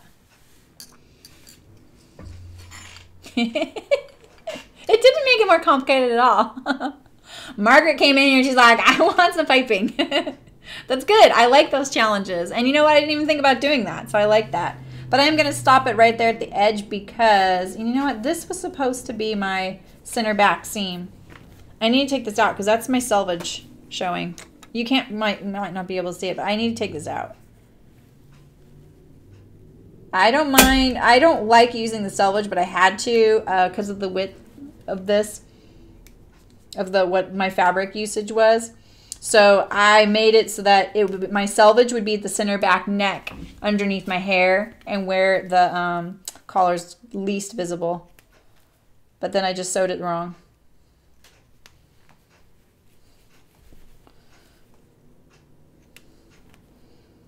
All right, let's see here. I like you're getting your guys' opinions. You're to see me wear this and you, and you know, you're to be like, oh, she probably shouldn't have done that. I'm fine with like there being no no piping showing or just a tiny little bit. And it's not it's not really piping, it's more of a flat trim. Cuz I I am I don't have the cording unfortunately. What was the other garment? Oh, it was my pajamas. Remember my pajamas? I was totally going to do piping and then I was like, oh, I don't have any cording. I really thought I had some. I don't know what happened to that. I'll bet it got in a knot and I just tossed it. I'm not very precious about stuff. If it's going to be like a ton of work for me to deal with, I just get rid of it. Unless it's expensive. then then I'll sit there and do it. Cording is pretty cheap though. All right, that is the the end. Here we go. All right. I actually do think I am using the right side of the fabric, which makes me good. You like that, Darcy? Okay, cool. It does look that way a little bit. There were some other fabrics I was looking at that I was like, ooh, that's a little too. Maybe vintage was what I was thinking, you know. And I didn't. I like that look, but I just didn't want that for this. I also didn't want to end up making something that I could only wear in the fall because I feel like this color that happens a lot for me. When I see other people wear it, I don't think that, but for me, I'm like, oh, that looks kind of like the fall. All right, so here's my little edge. I'm gonna tack it down I might even iron it. Um, I'm going to keep it away from the seam edge there. Trying to decide how wide I want it. Yeah, so if I, technically if I do a half inch seam,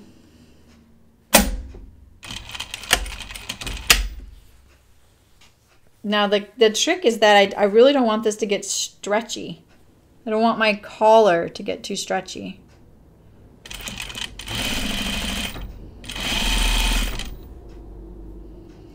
So if I had a cording in here, this is how I would sew this, but with a with a zipper foot right up against it. Um, and I and I wouldn't do it all the way against the cording on this first pass. I would leave a little bit of room only because um, this isn't my final seam. So when I went back to do the final seam, I would want to make sure I could enclose this prep seam into the garment. See now it's looking a little wavy. When I do this, how does it look? It's okay. Um, I'm going to pull it a little bit and see if that combats that or makes it worse. I'm just kind of curious now. I may have to take this out.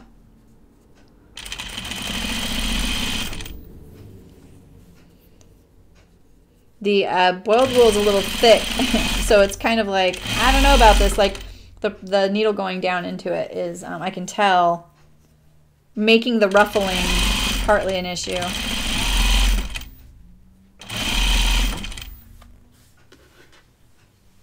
I don't think that changed it at all.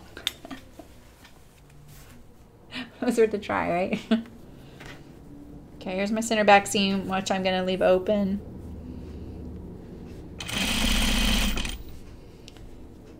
When I when you don't have cording in uh, something like this, you run the risk of it not being um, equal width. And I, will tell you right off the bat, you guys, I don't do this very often. Mine's not going to be equal width. it probably will look whiter in some spots than it does in others. I'm not worried about it. A loose floppy collar like this it'll blend in, I think, you know.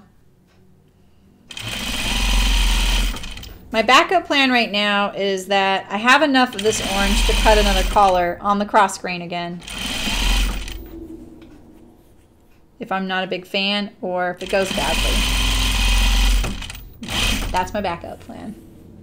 Intentional ruffles, there you go. All right, so I need to um, make the seam again in my binding. Um, yeah, in my, it's not binding right now, right? It's just bias trim. Oh, my needle is so big for that. I don't want it to pull. Like, I don't want my seam to pull, and the, the needle being that big can do that.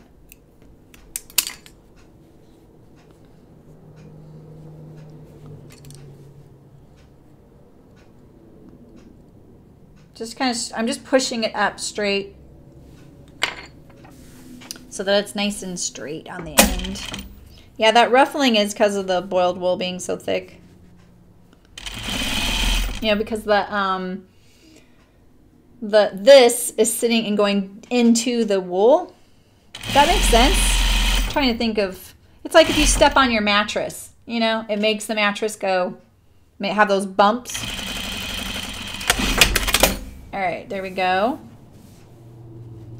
And now I'm going to put on my under collar. I'm going to do it from the the wool side so I can see my seam and I'm going to do it a little smaller. but I want to be able to see that I'm not making it too uneven. This is all dependent upon the fact that this fitting in my neckline really well too. Let's hope it does. Okay, when I get up to here, I think I'm going to make, I'm going to kind of fold this little tip. Well, I'm not going to fold that tip back, but I am going to make sure, I'm going to fold it a little bit. Just going to push it over there. Don't want to catch the tip of my edge.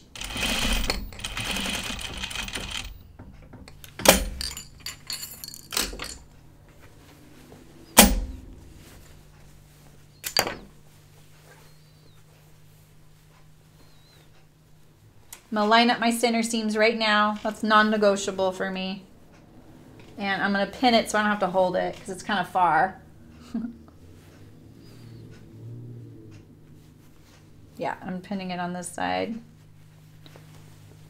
Now I'm going to find another spot to grab it.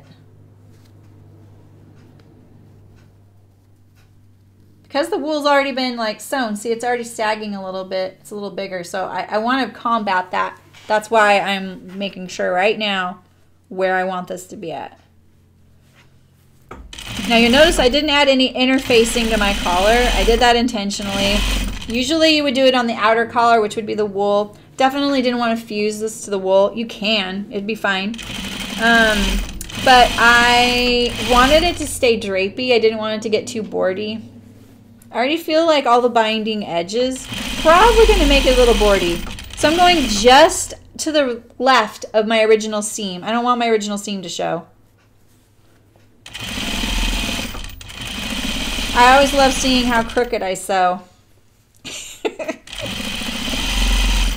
I hope you guys can't see it, but maybe you want to see. Taking my pin out. All right, now I'm gonna line up this again, this like I did the other one. I'm gonna get rid of this thread right now.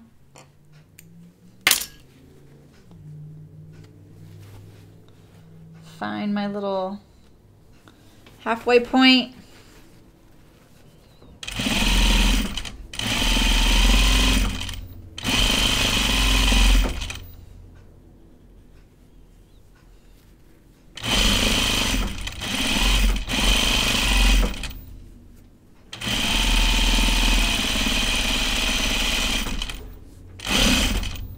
Yeah, my sewing is not that straight.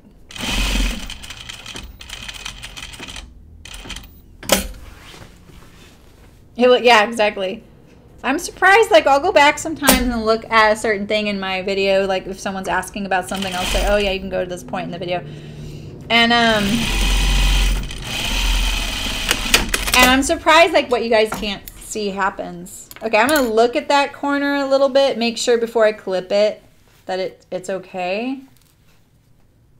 Yeah, it looks like it's going to be okay. I want to know before I clip it.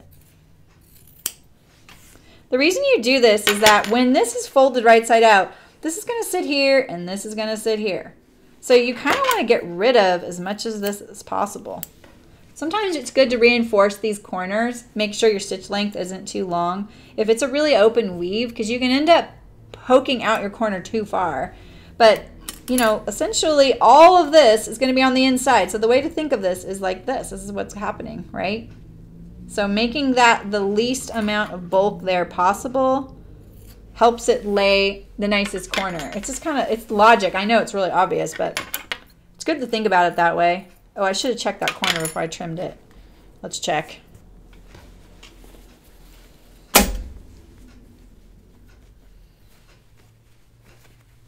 I don't I don't like poke it all the way out until I know, but I can't see this one. So I didn't get that right on the edge. See that? I'm, I'm going to sew that a little further. I can kind of see it now too. So I can actually see where that edge is. So I'm going to sew it a little closer. Ensure success, right?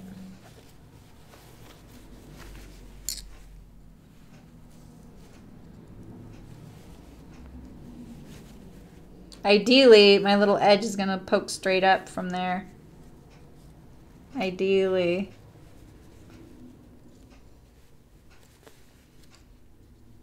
This would be a good thing to practice a lot before you do it. Looks pretty good.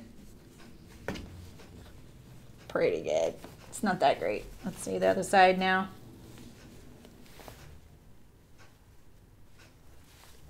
This corner looks better. See how much nicer that looks? Uh, I think um, understitching this would be a really good idea. I don't really want to understitch it on the with the blue though. You know, so I'm going to switch the thread to. I think I have a dusty rose thread. Just a second. Let me look.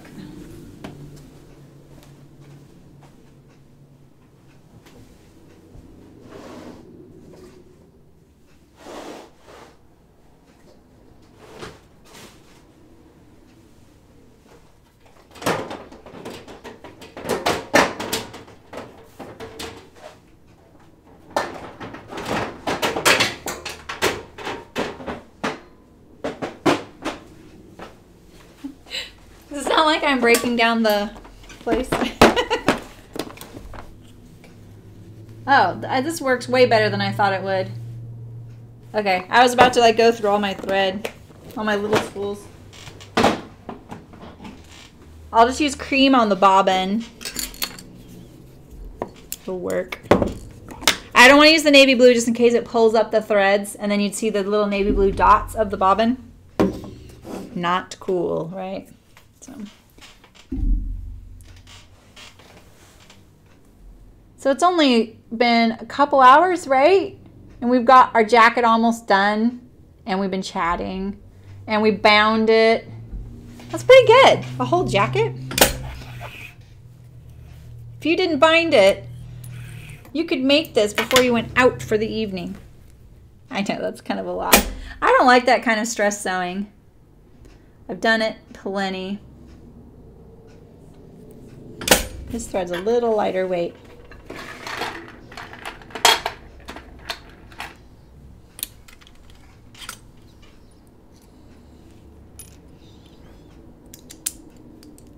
Okay. All right, I, I always uh, sew a little bit when I change my bobbin. Okay, so I am going to bind this, uh, bind, um, understitch the long edge first and then decide if I'm going to do the short ends. I can't get to the corner. I'm just going to do the best I can, but it does mean I have to flip it right uh, inside out again. And then get right up to the corner as best I can. I'm just pushing, and I'll show you in a second how it looks. Pushing all of the seam allowance of the inside towards the under collar, which in this case is this print. Getting as close to the corner as possible. And now I'm going to arrange it. I just wanted to get started. Now I don't have to worry about it. And now I'm just going to push it apart and witness how wavy and um, not evenly with my little trim is. It's better than I thought. Oh, good, Judith. I'm glad. Kind of just figuring that out as I go. This is all, okay, so that's a little narrow. I really hope my collar fits into my neckline well. I should have checked. I really should have checked. Okay, so see, this is how I got, how close I got to my corner. Here's the stitching, here's the corner. It's about as good as I could do. I could have tried to get a little closer, but what can happen is um, you end up stitching on part of the collar. Like you end up getting part of this kind of stuck in there. And then you have to take it out and I don't mind ripping out seams, but I don't like it when it's in a spot that could end up damaging the fabric. I still damage things when I rip seams out. Um, so I have to think about that. That got really narrow right there. Woo! See how I'm starting and stopping? See, when I put the, the this cord edge in, I did that first seam, it would have been so much better if I just stitched very evenly, consistently, and didn't stop, stop, stop like I'm doing right now. Maybe if I had ironed it or pinned it, that would have given me more opportunity.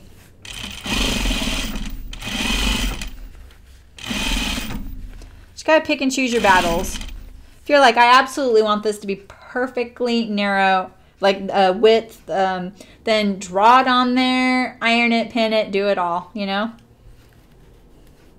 This is going to be on a floppy collar. I kind of want it to look a little casual. I'm liking the way it's coming out. So now I'm spreading it apart as, as far away from the corners I can, or as close to the corners I can. All right, so I got pretty close, but still not all the way up there. You just can't get those corners. All right, so um, I am gonna do these short seams. What I don't want is this to sag underneath my collar like that. So I'm going to understitch it so it doesn't do that.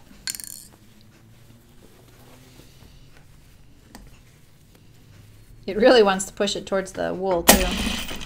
Another good reason to do it.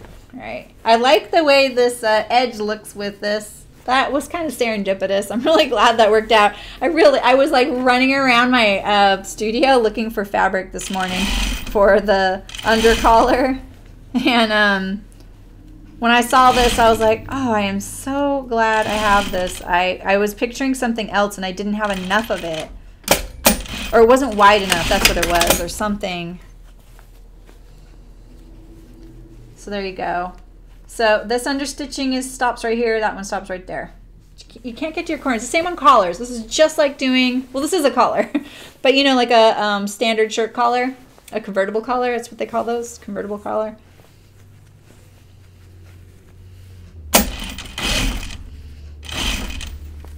And I'm really pulling it apart. I really want this to be spread as flat as possible and spread as far as I, as I can.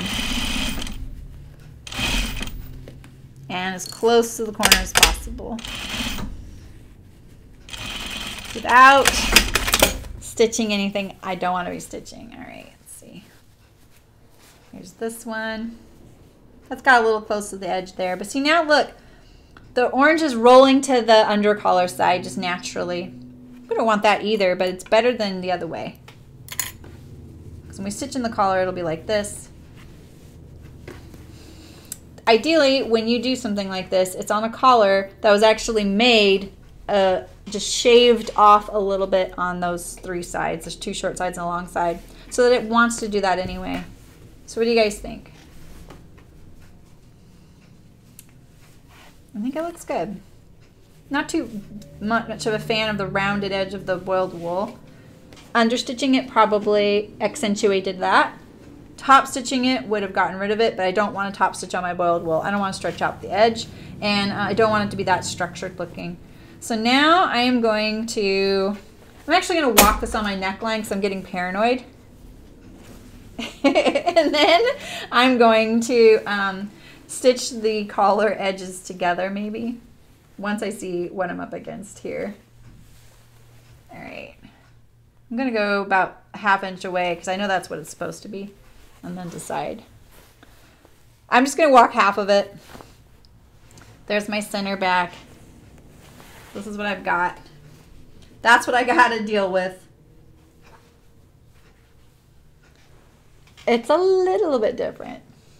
Yeah, the piping was a great idea. We can thank Margaret for that. it was kind of the thing it needed, you know? All right, so I'm going to, I'm going to do two things. I'm going to stitch um, my um, collar together. I'm going to go flatten it out, stitch it, the, the long edge together, because I'm going to bind this. And then I'm going to stay stitch my front because remember I got into a pickle last time with that. I'm going to stay stitch the front right now. No, I need to switch my thread back in a second.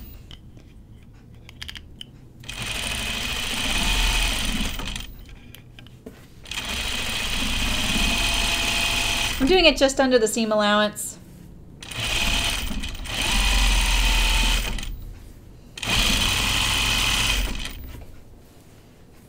I'm gonna press my uh, shoulder seam to the back.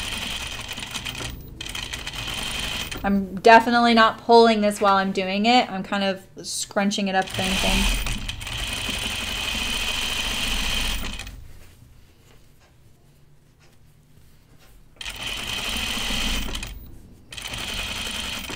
So in the instructions of the pattern, what you would do is you would sew one long edge of the collar to the neckline of the jacket. And then you would fold the other edge on top and um, stitch it down, stitch it shut like a cuff. You'll take a bow. Take a bow, Margaret.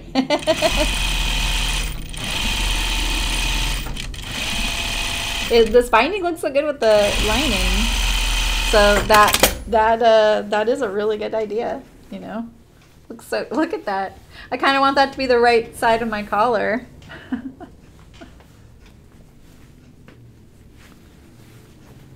I think that peeking out would be cuter. You're not, I'm not even going to see it, but that's why I'm going to stitch down this collar right now. You know? This way I can... So let's see, what is it? It was the, the body of the jacket a little bit big, so that's okay. We're not worried about stretching this out right now. I'm to pin this right here. So, like I said, the instructions of the jacket normally would be, and this is how I would do it. I would sew the, um, I would sew the outer collar to the inside of the jacket, right sides together. This is my jacket. And then I'd have a seam there, right? And then I would take my under collar, fold it over, and top stitch it down on the seam and then your collar would be done. that that's that is not an easy way to to sew it. Um, but I would do it from the do the inside seam first and the outside seam last because the, seam's going to more likely pop out and show occasionally. Um, I did not do this on my other Haori. Um, I sewed it through the seam, which I thought was much easier. It didn't look like because I was struggling a little bit with that linen growing on me, but um, it really was. It was a, the great, the best way to do that. I just popped open the side seam a tiny bit, and then I sewed it just right sides together. The jacket sandwiched over the collar. Just one and done. That was it. All right, so now I'm going to think I would like to maybe iron my collar right now. I want to make sure that my collar doesn't do this or this, right? That's why right now I'm going to iron this and make sure that doesn't happen. And then I'm going to just stitch it shut so that I know. The other one I had stitched through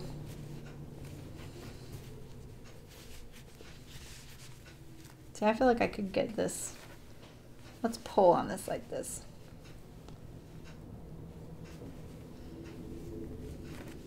Probably could have used a little bit wider, you know? I don't think it would have shown much. Looks cute. I love this fabric. These dots are not really that orange either. I just knew I wanted navy blue with this orange, you know? Let me check it out. I need, I forgot I need water in my iron. Shoot. All right, so the other thing I need to do is my sleeve hems and my bottom hem.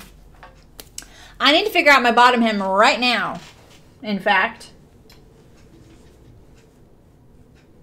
Ooh, I need to figure out my bottom hem right now.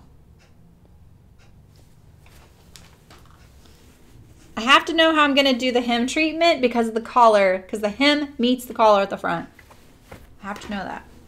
It's not like a, a shirt. The collar doesn't usually go to the hem on a shirt, you know? So let's walk this again and see how much room I have to kind of, you know, make my choices. Because I think I have a, it hangs down past the collar.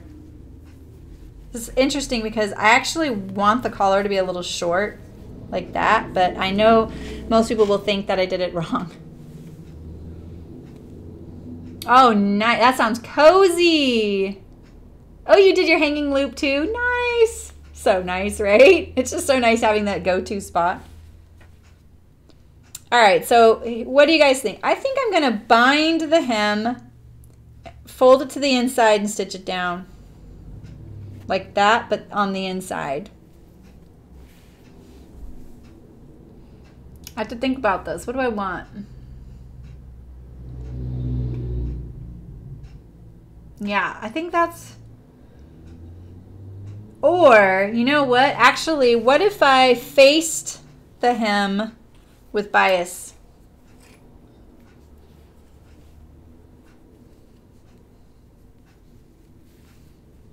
like that. I like that. Yeah, I do, Nancy. I really do, because it's not every time I remember that. Like my tamarack, I had to add that later. That's what I'm going to do. I'm going to change my thread to blue right now while my iron, my iron's probably hot now, but. Yeah, I'm going to bias face the hem because it's also another way to deal with binding and another hem, a way to hem something that we haven't done here before. Um, and I did not pre-wash my binding. I know I say that every time, like if you do this, you need to pre-wash your binding. This is a dry clean only jacket, so I can get away with a lot of leeway not pre-washing my binding. Because I would have done it for everything. I would have done it for the seams. I would have pre-washed a ton of it. And then hoped I didn't have a big old naughty mess. All right.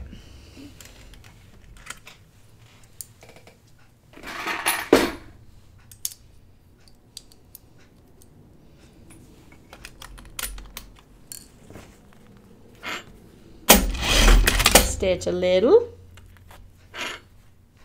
I'm going to iron my collar and I'll be right back. You guys can entertain each other.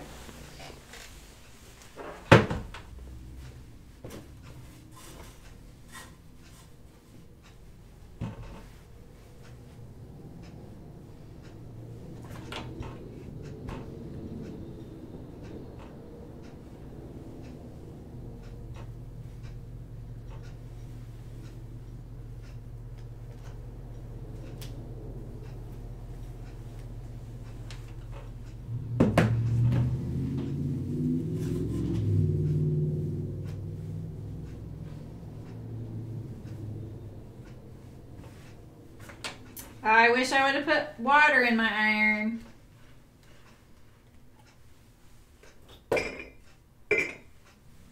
looking at my, I have a teapot sitting there uh, with uh, water in it sometimes.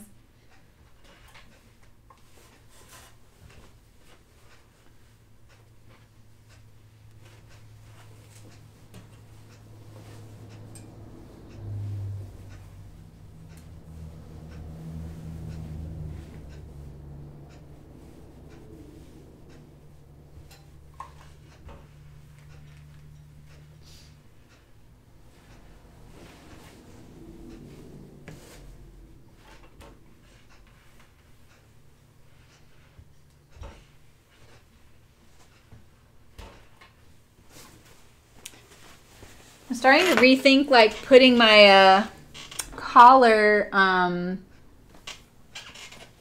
this being my top collar, because look, you know the the tipping, it really it, it just gets lost from the the blump of the wool, you know. That'd be kind of a crazy outer collar though, huh? Yeah. Oh, I gotta do that. All right, I need to hem my jacket.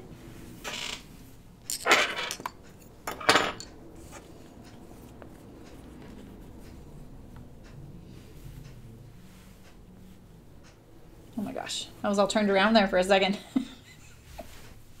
okay. all right.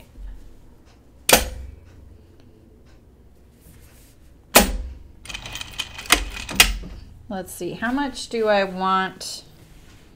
I'm gonna do, let's see, I'm gonna, I'm gonna let me play with this here. I'm going to, I'm gonna do a little bit bigger of a seam allowance. More like a 3 eighths. Maybe a little more.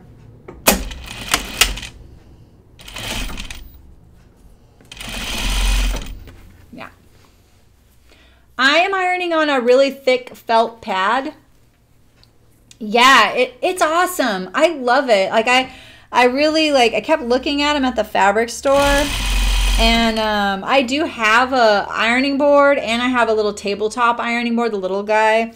Um, but you know, I don't know about you guys, but I don't like how the ironing board after a while it dips, you know, because you have to replace the ironing pad or the metal is just right there. Or you, I mean, you can't even get a good ironing board pad anymore, you know, unless you spend bank on your ironing board, which I just haven't, you know.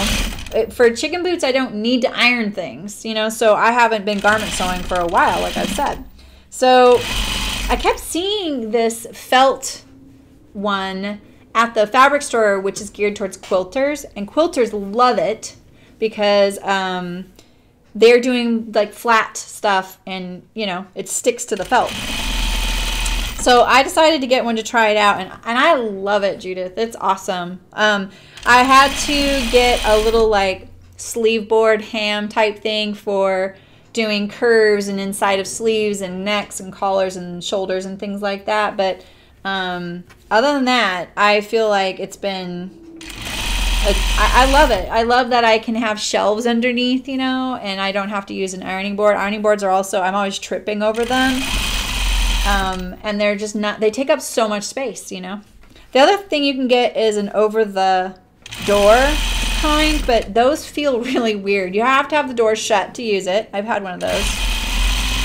Um, the other kind I had, my, one of my favorite ones I've ever had was in this really old little, it wasn't really old, um, not Victorian or anything, but it was probably built in the 30s. Little Spanish style house in California. And it had one of the kinds built into the wall. Uh, that was that was my favorite ironing board. Mainly because it was so cool. it, um, But I wasn't doing garment sewing, ironing on it. I was just ironing my clothes that I wore each day. My iron at home is pretty good. My ironing board. All right, there we go. Um, I'm going to now edge stitch this as well. I don't want this to show on the outside. And they have smaller ones. It's a little expensive, but they have a smaller one than this as well. But for, if you don't have to iron a lot, like I don't think I would want this at home ironing my clothes every day. Yeah. The arrow chairs. What's an arrow chair?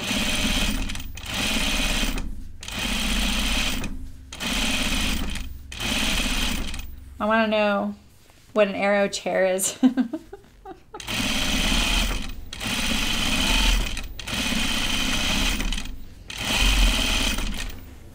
So I'm just edge stitching uh, my bias hem.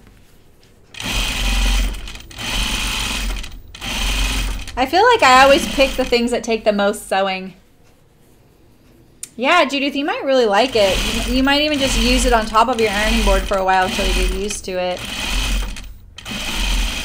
But yeah, you can just like like pull it out when you need. It's really lightweight. They're made in Oregon, um, which I found kind of interesting too. Okay, so now I need a, a different uh, bobbin. I need my orange bobbin. Oh, my sewing chair. Is that what it's called? An arrow chair? Yeah, I bought three of them at once.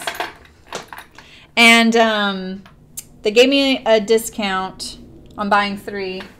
I don't like this orange thread. I don't like this orange thread. But now I don't need three chairs because I don't have people working here. um, let me look at my orange over there.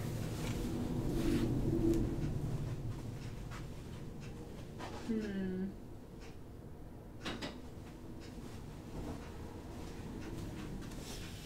Dang it. I'm going to do a trial. I'm hoping that this gets in, embedded in the thickness of the wool and it doesn't show up that much. oh gosh, what was that?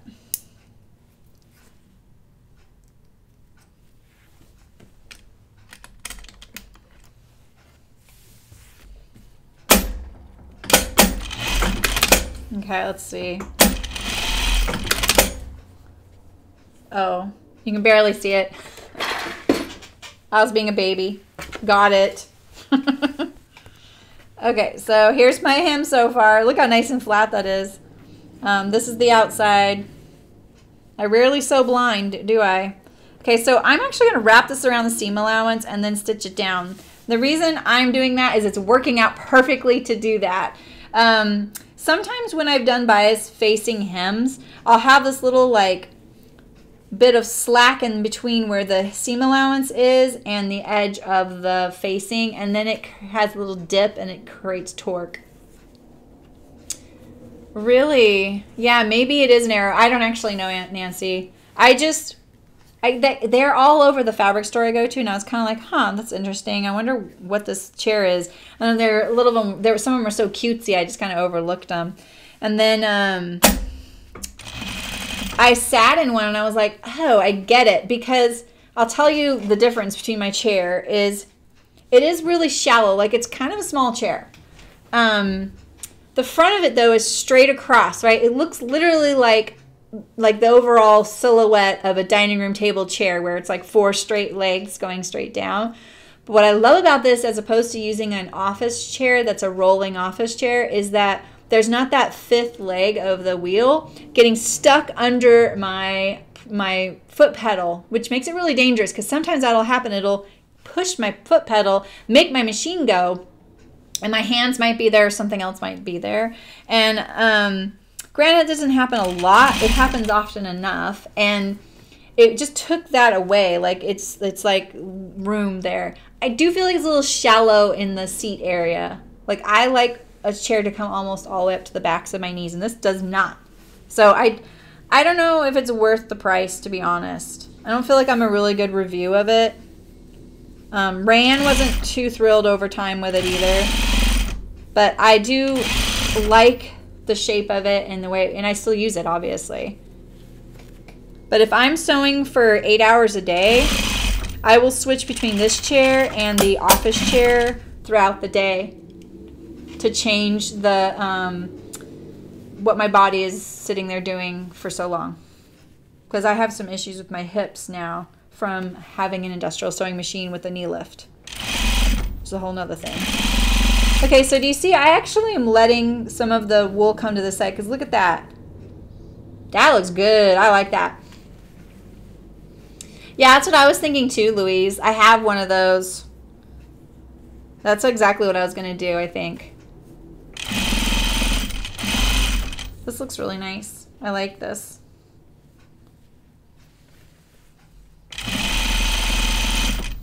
I don't want it to stretch out, the stretch the hem out though.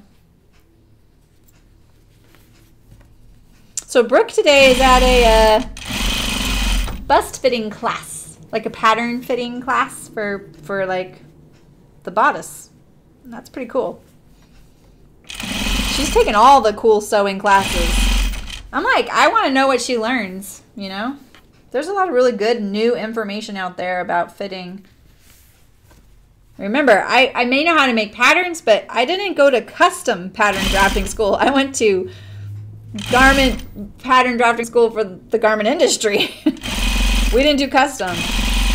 But, you know, in a, in a sense, it is because you're custom doing it per your company's size chart. But once you figured that out, that's it. You did it once and that was it. Then you did fittings on all your garments.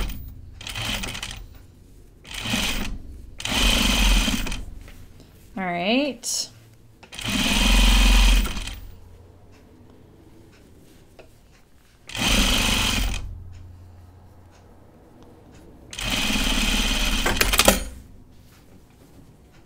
I like that. I feel like that just made me look like a really good sewer. it looks good. All right, let's get rid of that. Let's get rid of this. Let's put our collar on. Maybe I'll uh, do my sleeves the same way. Don't you think? All right, so let's, um, I'm gonna stitch down. I got two different bobbins. I have two different threads colors right now on my machine, I gotta remember. You guys are troopers sitting here this whole time. I wanted to finish this one today though. Okay, so um, I'm going to make sure that this doesn't get off kilter by matching my centers. See, look at that. It does want to be relaxed. It is more relaxed.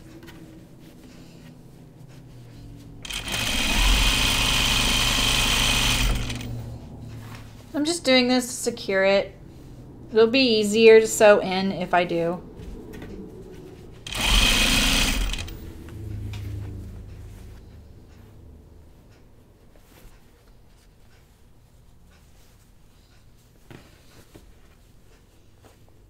We may need to ease a little bit more right now.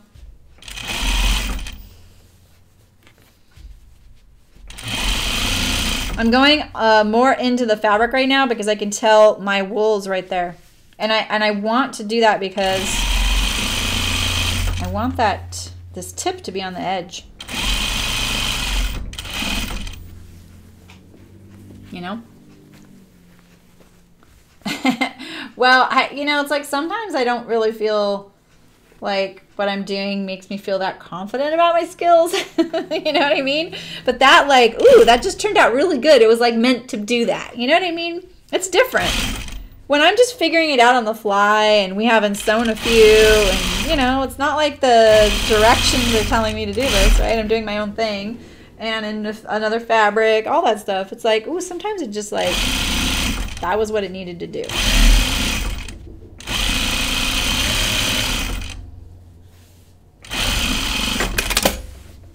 All right, I'm gonna feel this. I'm gonna look at it right now without looking at the other side to see how I feel first. And then I'm gonna look at the other side because this feels good. And I think when I turn it over, I'm gonna feel differently.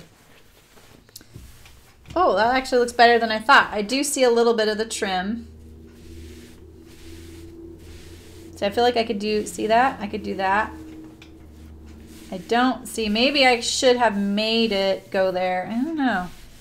I cut this uh, undercollar out in a hurry and I used the, the wool as the pattern piece. Shh, don't tell anyone. All right. I don't want any torquing. I don't want any of that. All right. I think that I'm going to do it. I'm going to do it.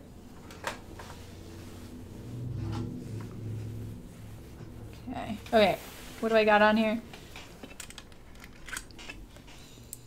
To do blue again.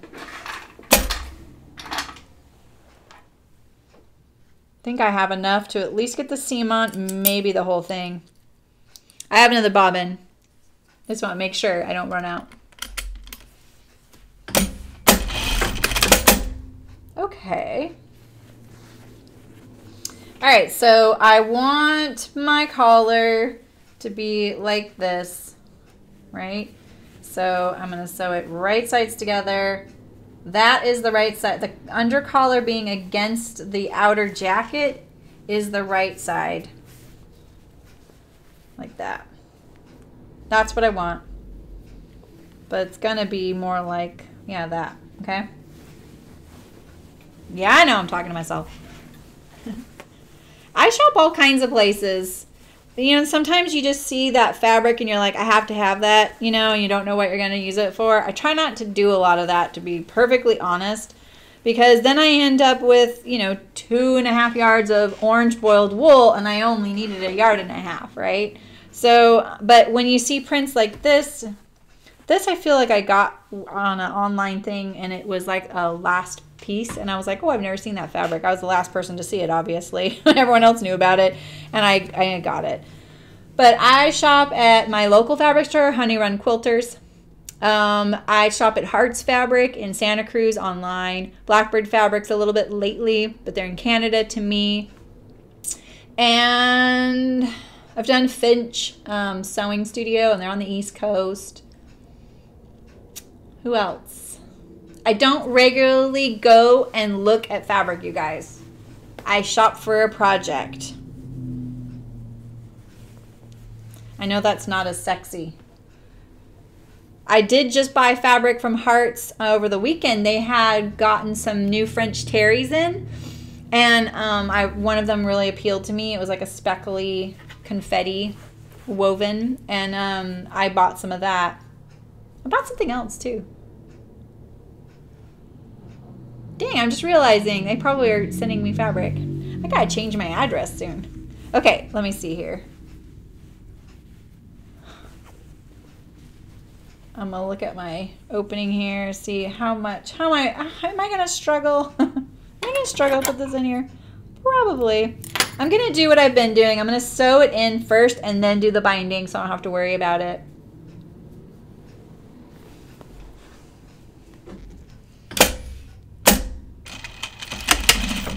That stay stitch is already helping. All right, so uh, see, see, this has got a contour on it. This does not. So I'm gonna kind of look at this. I'm gonna, I'm gonna just go like this. So I know that that isn't the edge I'm going for. it reminds me. So let's see. What about the middle? It's about right there. So that's how far I have to go to ease.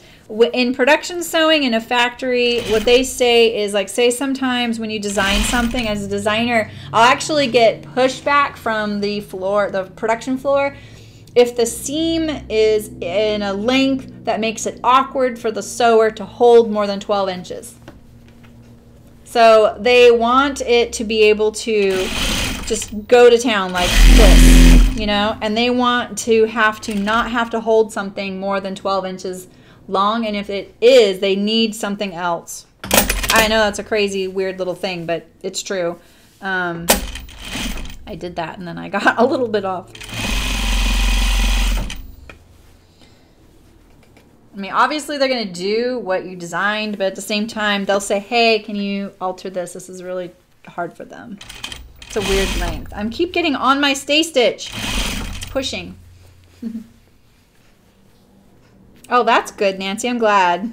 I like dealing with them. They ship right away. If they have a question, they reach right out to me. Um, if I have a question, they always answer immediately. Um, and I don't have any special relationship with them or anything. They're just they're just really good. I was kind of getting hoping I was going to get to visit them next week and see them in person for the first time. All right, I need to touch up one of those seams back there. I saw that. I'm sure you guys did too. Get rid of this pin. That's my center back neck. I'm already halfway. Now I'm going to pin this down here. Look at all the thread colors I have. I have orange, blue, and um, the pale pink. this one's non-negotiable, as I like to say.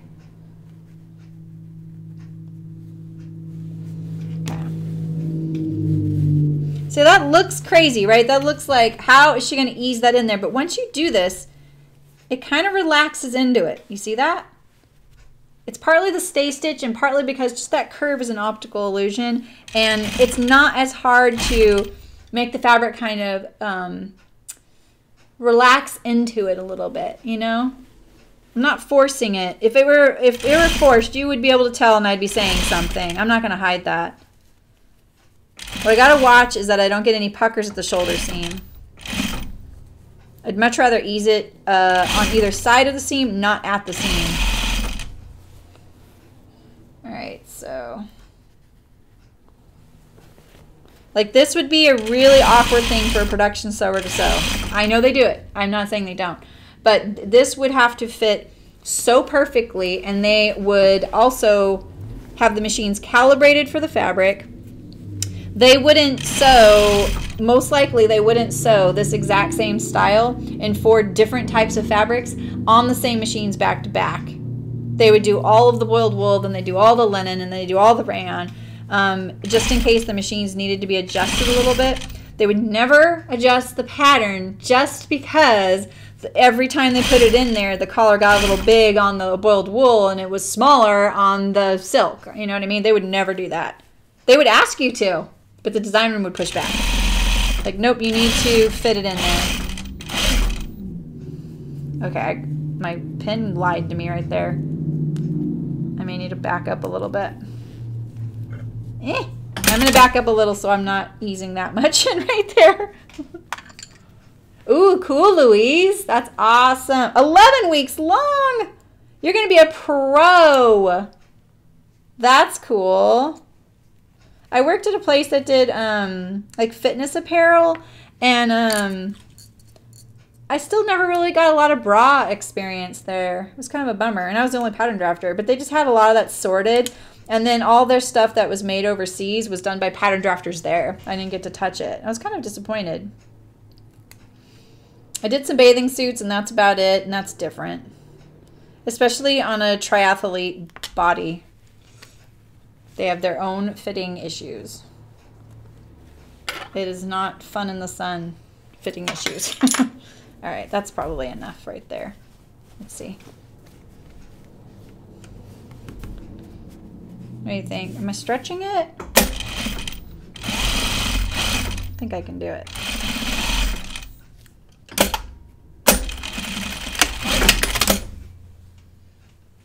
All this mess will be covered in my binding. You do, Olivia? I'm glad.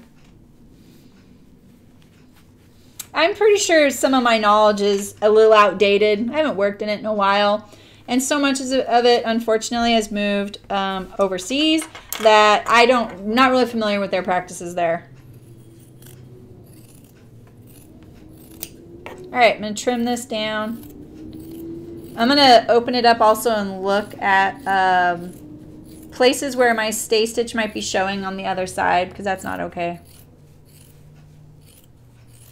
And we're almost done, you guys. Though, if I were to change this pattern, not that you're asking, but um, I would change the back of it. I would put something interesting back there. Like maybe a, a horizontal seam and then a pleat coming out of it or something like that because it's really a big canvas back there. I don't find it very flattering. That would be my change to this. If I were to just go totally rogue and be like, I'm doing whatever I want to this pattern. Because believe me, you guys, it's going to happen in the future that I'm going to start going rogue more often.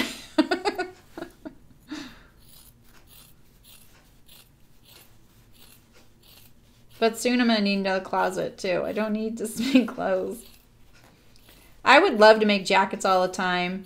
Not like this, the, like, I don't like a trench coat. I don't really need that. Um, or a pea coat or anything like that. I don't need that. But I, you know, like I'm looking forward to making the jean jacket. Is that not stitched down? Oh, look at that. Didn't stitch down. When machines go rogue. What the heck happened, machine? You know? Toasty jacket, two vents. Oh yeah, that sounds cute. We're almost done. it's painful, isn't it? okay, I'm just looking for my uh, stay stitch. I feel like it's poking out in some places.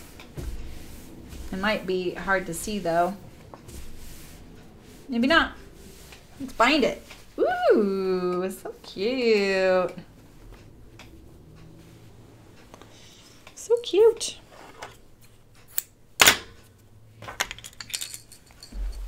All right, so let's see. This is how it's gonna be. I want the seam to be pressed towards the body. So I'm going to sew it on the body first. And then onto the collar. That's what I'm gonna do. I'm gonna wrap around this edge. This is where my binding will probably show on the outside is because I'm gonna wrap this edge right here. I'm gonna try and do it really tight. Really tight. Okay, I got started now with my garment up here. I all these fabrics coming together is making me really happy. I'm really glad that this worked out. I, I wasn't really sure, you know, I, I felt like I was forcing it a little bit. But sometimes when I'm like, yeah, that kind of works, I'm like, that's not good good enough. Nancy, you're so funny. I would love to stream for hours. I don't know how people do it with their voice though. Like a little sore already. I lose my voice really easily though.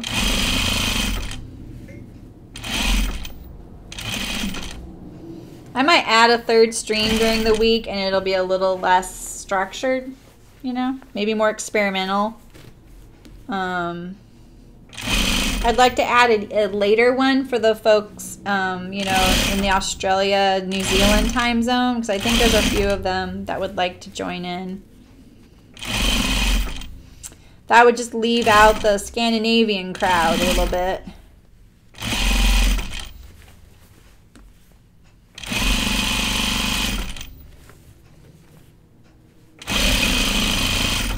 Trying to stay close to that cut edge so I don't have to trim it again. But I think I will. No, no, no, Jackie, don't go. Just stay there. Just stay there. you know? All right, so I'm getting close to the end. I'm gonna pull a little bit. Wrap it really tight.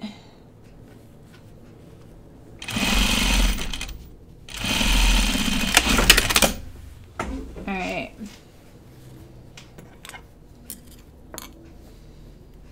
Gonna look at it. Get rid of some of these wider areas. You know, where I straightened out my seam.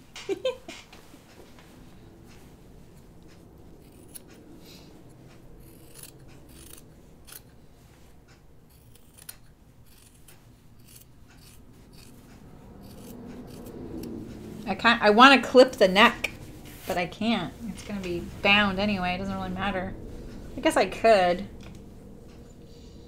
wonder if that would help. That's an interesting question. If I clipped my neck, it's already being trimmed, but I wonder if clipping into it would actually make a difference when I'm about to sew right over it. Interesting. That's right, Nancy. I know you're always drinking coffee at like 11 for me, or and then it's like two for you, right?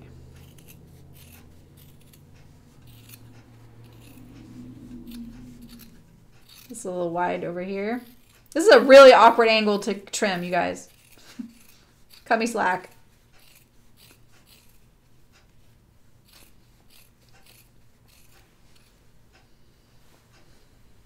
Look at all that I'm trimming off though. It's a little bit much. I don't want my collar to get thinner in places than others, but it could. That's what happens. You start trimming and monkeying around with your seam allowance. Oh, it's really thick right there because of the shoulder seam. Uh, I wanted to check to make sure I got my shoulder seams in there. Oh yeah, I did. That was lucky because remember that one I trimmed um, and it was a wrong angle. So maybe it was okay to uh, short myself there. All right, let's do this last seam. So yeah, see my binding edge might show a little bit. So it'd be nice to make it look nice. So and when we learned that when we want to fold it like this, getting right up there is not okay, but I want to fold it back here a little bit more. That way it has room to wrap around and I might get a closer fit. Maybe even further. This one's much, this is much thicker than that other one. See, I'm folding it pretty far away. Here's the seam. There's the fold. That worked right there. I went through a lot of binding today.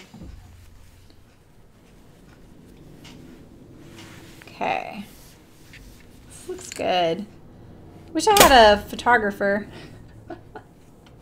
yep, second copy at 2.30, exactly. I noticed that. So this time I do want my binding to stay all on the seam allowance. I don't want to um, ooch into the collar because the collar is a free moving object. You know, it's like loose. So I'm going to put the fold just past the seam, but I'm going to stitch on that seam or to the right of the seam. Otherwise, um, I may end up stitching onto my collar. It's not the end of the world, but, you know, you don't want to monkey around with seam allowance, keep monkeying around it like I keep monkeying around it either.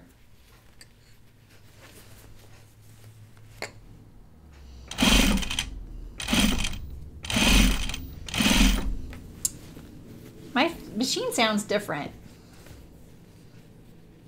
Might be time to get its first tune-up, but I've only had it since August. And I'm about to move my machine, so I kind of want to wait until they're moved.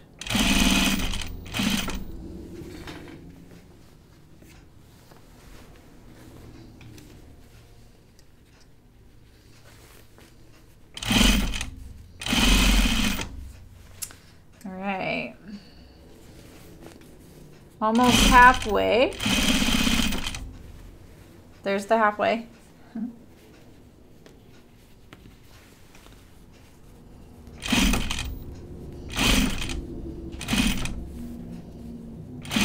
I'm, ha I'm having to do little bits because it's kind of thick.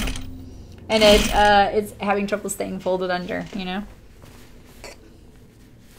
Now I can do a little bit more and then use my awl, which is way easier. This is the only one of all my bound seams that is going to probably be visible occasionally. So I do want it to look pretty good, you know.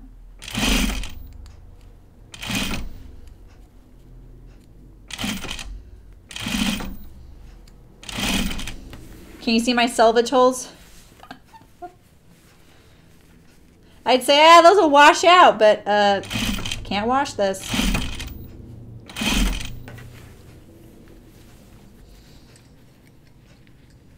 All right.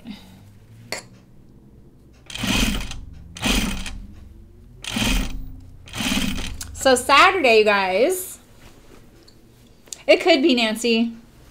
It could be. I, have thought about that too. Um, but you know, it's kind of built to handle it. It just could be a different sound. It sounds um, jingly.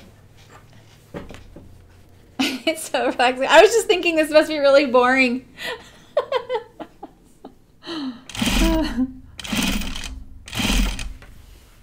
They're like, can't you get music? Can't you guys, can't me figure out how to do the music? I'm trying, you guys.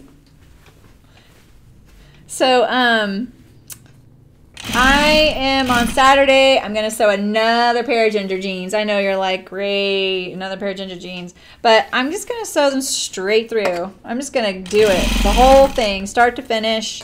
Um, we'll see how I feel about adding the uh, buttonhole at the end. But um, I am walking away from here with another pair of jean, ginger jeans. I'm only wearing those lately, and that's it.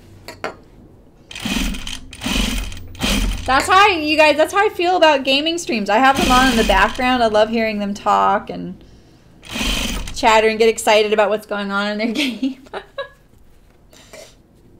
Okay, so this is pretty thick right here. I think I'm going to trim it a little bit because it's really thick. See how thick that is compared to right there? Let's just trim it down a little bit. Not me, just the seam.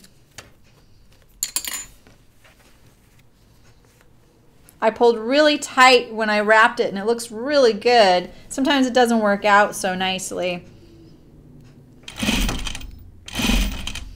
Okay, so let's do my fold folding trick here.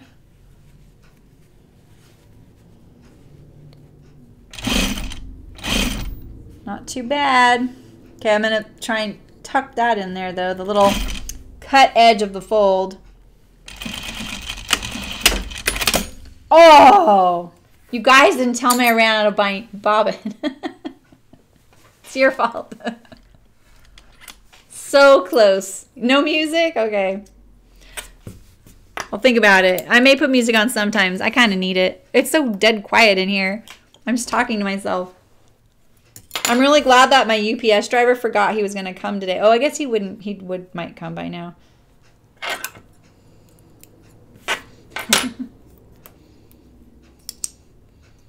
oh, cool.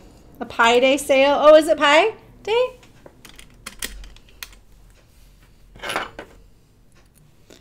Where's my binding?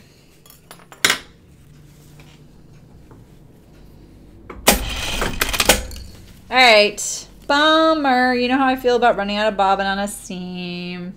This always happens, right? You know, um, you know what's interesting? About the time I was thinking it sounded better was probably when it ran out. So that's interesting. I don't know. It sounded better for a second there, and I was like, huh. Because it wasn't sewing. You can hear my clock ticking. Dang. When I listen to the stream, I actually don't go back and watch the streams, but what I do is when I want to link to one of my streams to something, it automatically starts playing, and so I get a glimpse of me. And so most of the time, it's just on the stream starting soon page. But if I've gone to that particular video enough times, it's ooched a little bit each time into the video, and then eventually I'm sitting there talking, and I'm like, no, I don't want to hear myself. And I always think I sound it sounds too quiet. Like I feel like you guys I'm surprised you guys aren't saying can you speak up? And I'm kind of like talking really loud in here. It would be nice not to. I wish I could talk in a normal voice, but I think it's too quiet to do that. So no music, okay. I'll think about it. It would just be really quiet in the background. That looks good there. Not so good right there. But remember my seam's pushing towards this way. I just panicked and thought I put my collar on upside down, but I didn't. Hi, Christy. Let's look at this again. Sleeves are too long for me.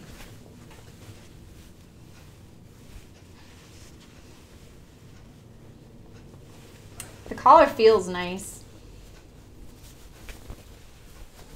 Can't see me though.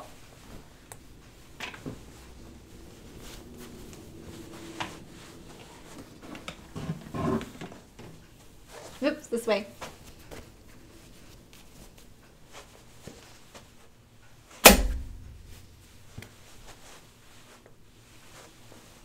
Sleeves are a little long for me. Yeah, I used to have one of those, Judith, um, for the first few weeks, and then it died. Um, I think I'm going to trim off.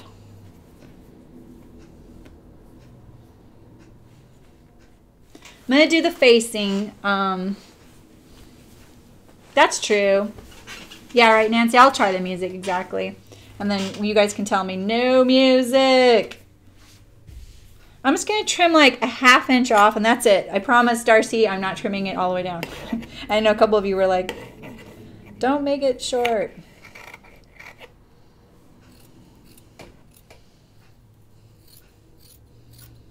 I'm just going to trim a little bit and then I'm going to face the hem like I did on the other thing. Thanks, Christy. It's not as uh, uh, scratchy as I thought because I'm and I'm pretty warm right now. So if it were cold, it'd be fine. Pretty sure. And if I had a long sleeve shirt on. Where's my other sleeve? I forgot a loop. A loop would have been nice on this. Nancy, how did I forget? Dang. I did, Darcy. I made the short length. So a couple weeks ago, I made the long length and I made it lined. And it was my needle sharp subscription box. And um, I've had the boiled wool kind of staring me in the face all fall. it's getting kind of late to make jackets, you know, in the season. And then I, um, it popped in my head to do an unlined version with the boiled wool. And so that's what I did today. I bound all the seams on the inside. And then just, excuse me, just faced the collar. Like I just added an under collar. Mm-hmm. I agree, Nancy. How many yards do you think I used? Um, I can figure it out really quick. I'm really good at that. Let's see. Because I did use quite a bit. So let's see. Can one of you tally while I while I tell you numbers? One of you better be tallying. Ready? All right. So.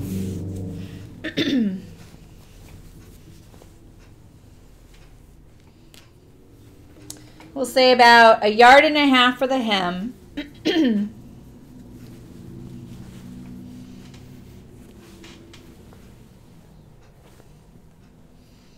About a yard and a half for the collar seam, the neck seam.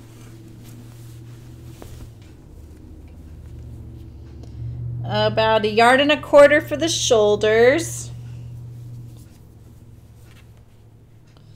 Um, a yard for total for sleeves. And then for the underarm, about a yard and a half for the um, underarms, maybe a little bit more. And then there was the pockets. So I'd say about a yard for the pockets. And I'm going to do the sleeves, which will be another, we'll say a yard total for the sleeves, like hems. Did anyone tally all that? So probably in the sub 10 yard range. Did I miss your reminder, Margaret, for the loop? Dang it. Yeah, I, I could probably add something, right? I could just add it right there. Real quick, real quick. We'll do it, and then I'm going to do my hems, my sleeve hems. I don't even know what I'm doing for a loop. Let's see, I'll just sew this into casing. Bias for a loop is not ideal because it gets it, gets kind of stretched out. But um, maybe I'll stitch this on both sides to stabilize it. There's my little loop turner. Sorry, I'm probably not under the eight and three quarters. Thank you, Nancy. There you go, Louise. Eight and three quarters yards to buy it, bind that, and it was the short version, and I'm a size medium. And I didn't pre-wash because I'm doing boiled wool. All right.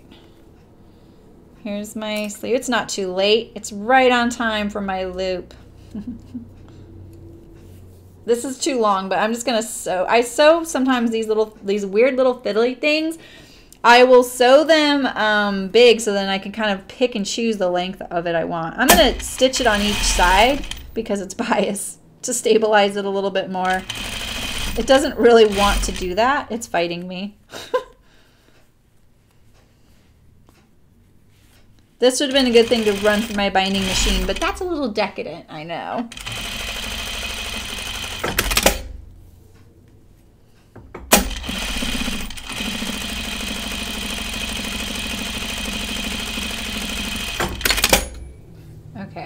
Oh, but it would have been so nice, nice and finished in the seam.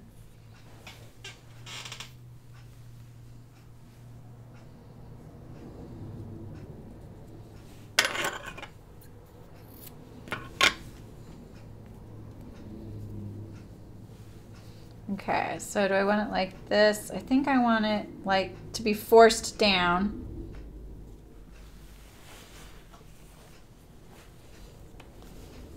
I, I really want that in the seam. I, and I it, it is I'm sure it's paining a couple of you that I'm not putting it in the seam, but um I'm not gonna go back now. I will forget all about this soon. I'll just be thankful I put it in there, to be honest. so I think what I'm gonna do is I'm gonna sew it and then sew fold it down on top of itself. I put the pins there so that I evenly spaced it. So I'm gonna do it a little bit shallow right there on the edge. Um, I'm going to fold it down on top of itself and encase that raw edge. Like that. I'm going to get rid of all these threads to make it look like it's fine. Right? Okay, so that. Wait, okay. Now I'm getting myself turned around. I should have done both at the same time. Let's see like this. Okay.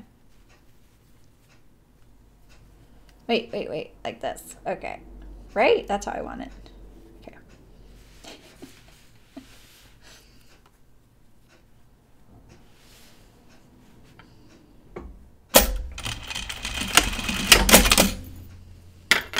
Get rid of my threads.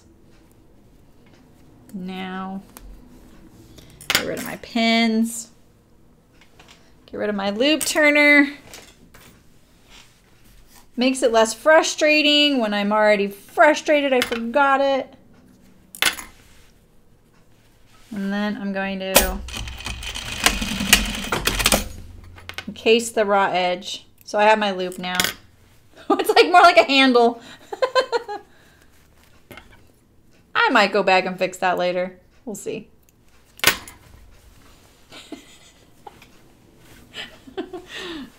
Okay, let me uh, let me face these hems. All right, so um, I'm gonna start on the right side. I'm gonna fold it back on itself like this. This is how I do a continuous loop of binding. Um, it's nice that I can just nestle it right there into the seam. I'm trying to remember if there's any pitfalls with that. Pretty sure that's okay, so I'm gonna do that. But I'm actually gonna check to see which way the seam is supposed to go and it's supposed to go this way. So it, I'm glad I checked that. All right. I like sewing things like this from the inside of the sleeve. I just changed my seam allowance because that's what I did on the other thing. All right, so I'm going to do it at like a 3 8 inch seam allowance to get this facing, the bias facing hem.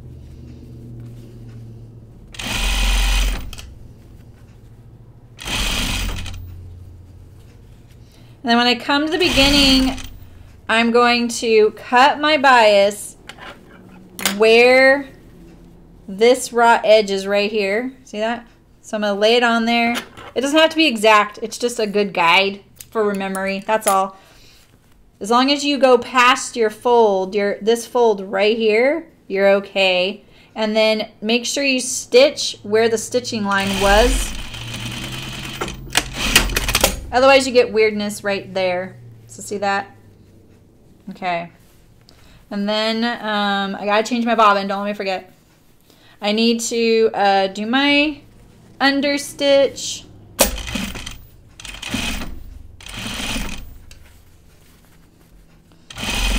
So I will say, like, when you bind anything or do it, you sew things almost three times, right? You're you're sewing it three times. So I don't necessarily think this is the fastest or easiest way to do an unlined Haori. Ah! My presser foot pushed that up. Um, but it does give a nice effect if you're feeling like, oh, I'm um, I'm cutting corners by not lining it. I didn't think I was cutting corners by not lining it. I just didn't want it lined because it's it's boiled wool, you know? I I would only want it lined because of comfort or if I live somewhere colder, but like I keep saying, I don't live somewhere very cold. You know? I live somewhere pretty hot and even then it's like we have air conditioning too, so okay, so then um we'll turn it and then we'll top stitch it down. But then I need my orange bobbin, so I'm going to do both sleeves at the same time for that step. All right, so I'm getting lost in my jacket again. Okay, here we go. At least this jacket's a little smaller, you know, like it sits on the table nicely. Okay, so my seam, uh, underarm seam wants to go this way. Okay. I start right sides together on the outside of the jacket.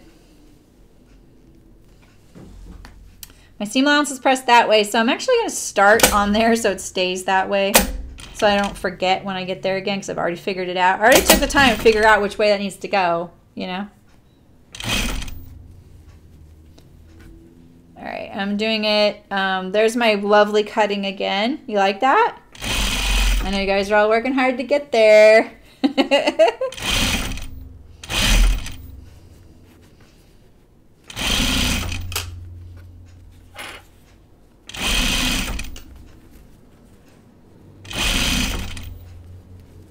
All right, here I am again. You don't have to cut it off. I just like getting it out of my way as soon as I can.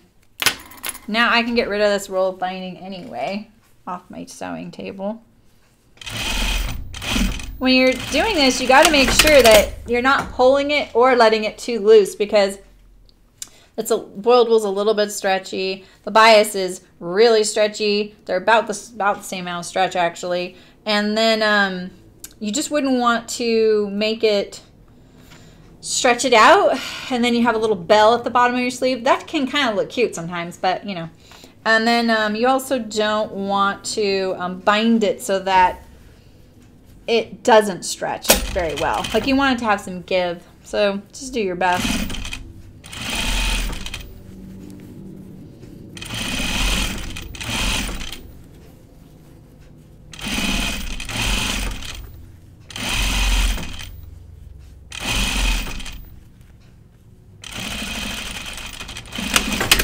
That time I was aware of the presser foot catching on that and it didn't happen. I think it only happened because uh, it's so thick. Tip on folding it over inside and then going over the top to attach. Yeah, right? I know. It's so simple. Because then look, you know, are you talking about this, right? Because then when I go to this side, I just like it, yeah, so that's open right there, but it does not matter at all. You can do this for this trick on anything, placemats, quilts, uh, any edge. You can do that. If it's a continuous circle like this, like a placemat is or a quilt, you know, you can just fold it over and then match it like that. That's all you got to do. I figured that out the hard way, so you don't have to. all right, let me put my bobbin on.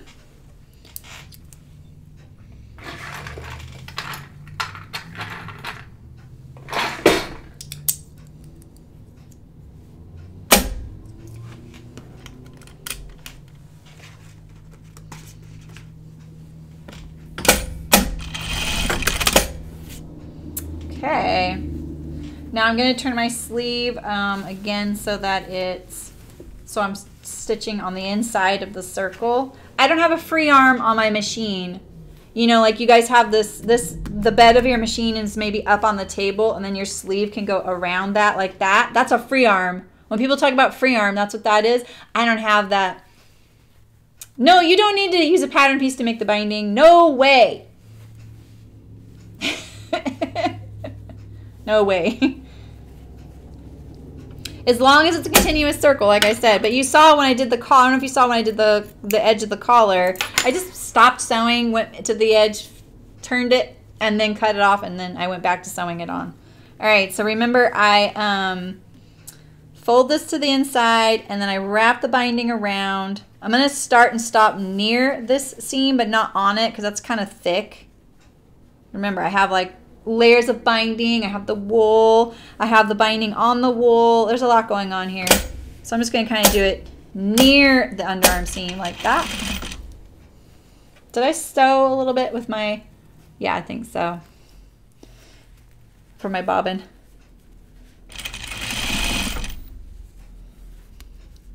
This is honestly coming out far more um, like finished and polished than I actually thought it would.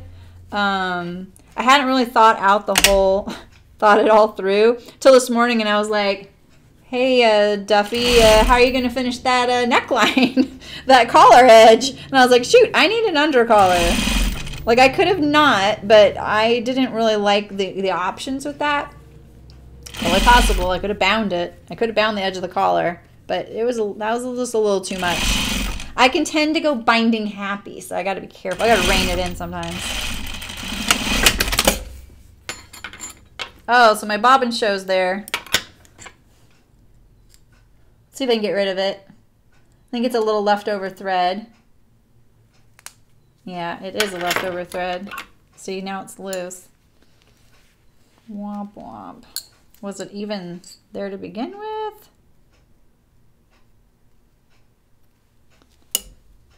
All right. Okay, that looks better, huh? Phew. Thought I was going to have to unstitch that, and I don't want it. Yeah, my machine has, it's uh, got a little like thing I can put, fit over the free arm. So if I cuff my seams, what do you guys think? That looks okay, huh? I think that looks cute.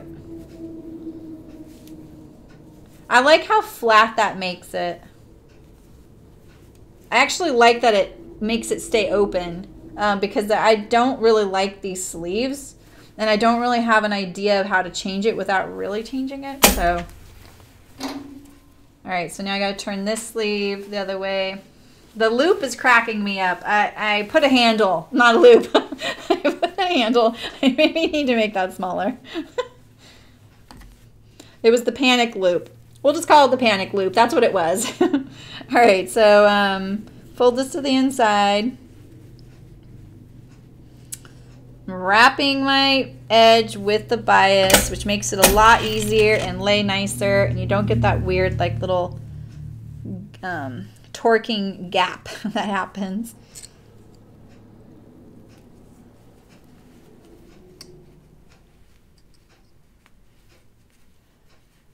All right. Oof, I think I should have trimmed that a little bit.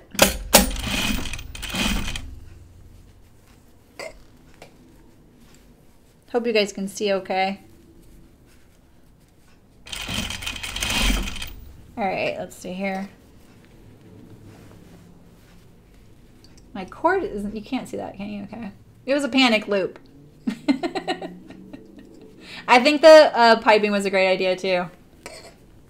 It kind of brings it all together. Margaret wins the prize today.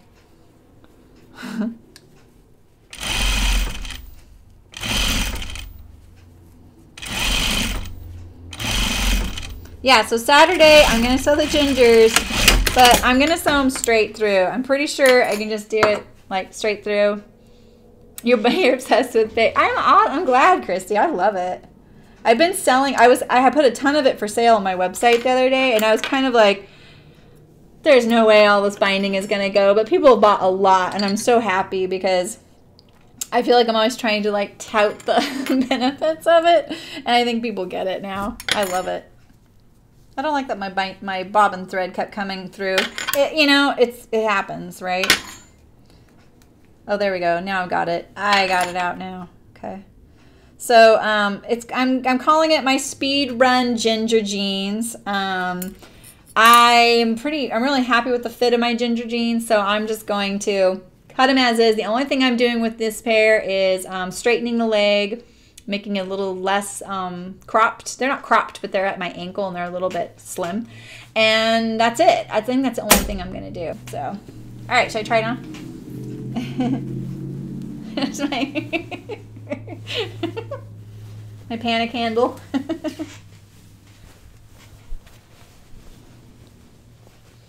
this feels really good for no interfacing. Wish I would have picked a different shirt to throw it over. Oh yeah, there's a ton of web. There's a ton of bias binding left on the website. Okay, what if I do that? okay, I gotta move my chair out of the way so I can stand over this way. This is cute.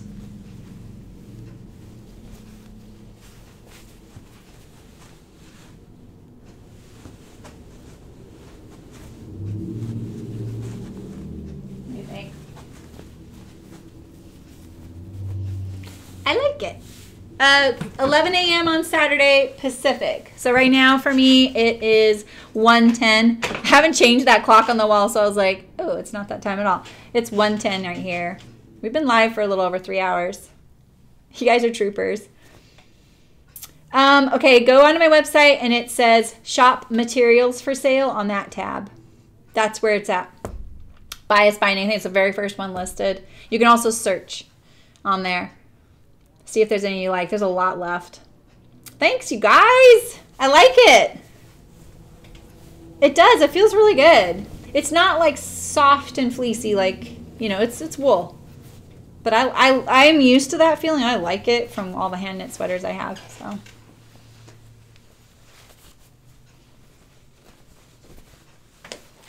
The autofocus is doing stuff, isn't it?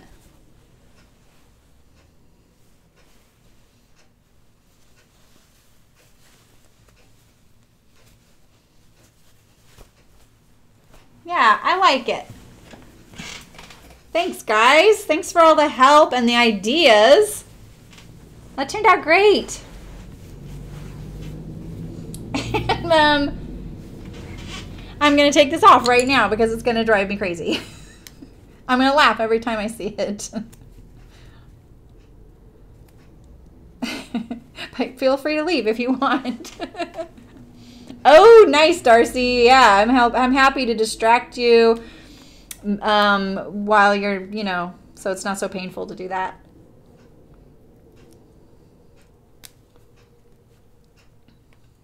Okay. no panic loops.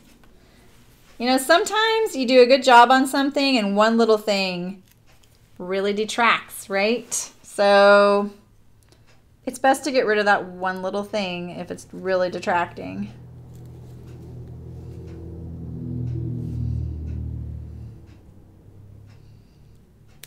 Come on, come on, come on. The other one came off so easily. I really made it secure. yeah, I'm going to shorten it. I'm going to keep the loop. I'm just going to shorten it. But I have to remove it off both sides. I shorten it, it won't reach to the other side. There we go. And this time, let me... Uh, let me try it first before I commit. Okay.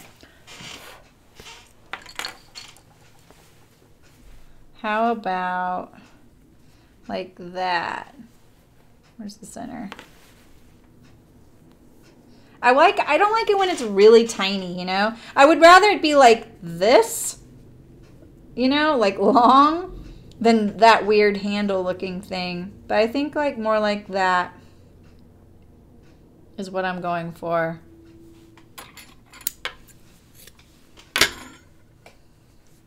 It's really hard to tell where the center is. Okay.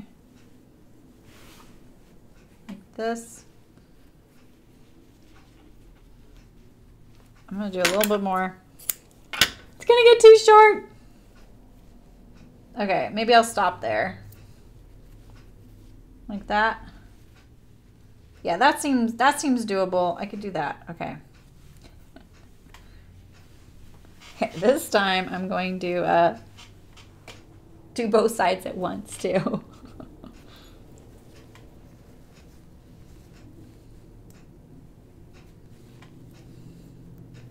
Just need to mark my distance because I, I like it centered.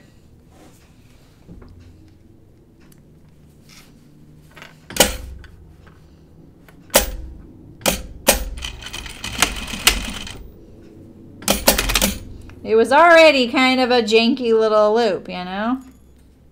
All right.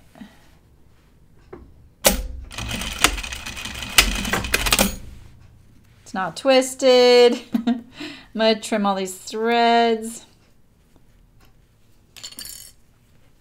Now I'm going to fold it back on myself, on itself, and then sew it right where the binding was sewn. Like that. Not ideal. Much better if it would have been in the seam. But you know, handmade, right?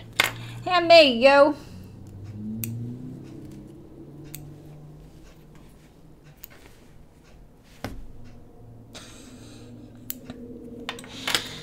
Okay, I think I'm done. Bye. oh boy. I think the sewing fairy is trying to tell me something right now. Maybe I don't need this loop. I can always add it later, right? Oh my god. At least I can see where my stitches are. I don't want to accidentally take out the other stitch. Oh boy, you guys. All right. No loop. No loop. Not doing it. Taking it out.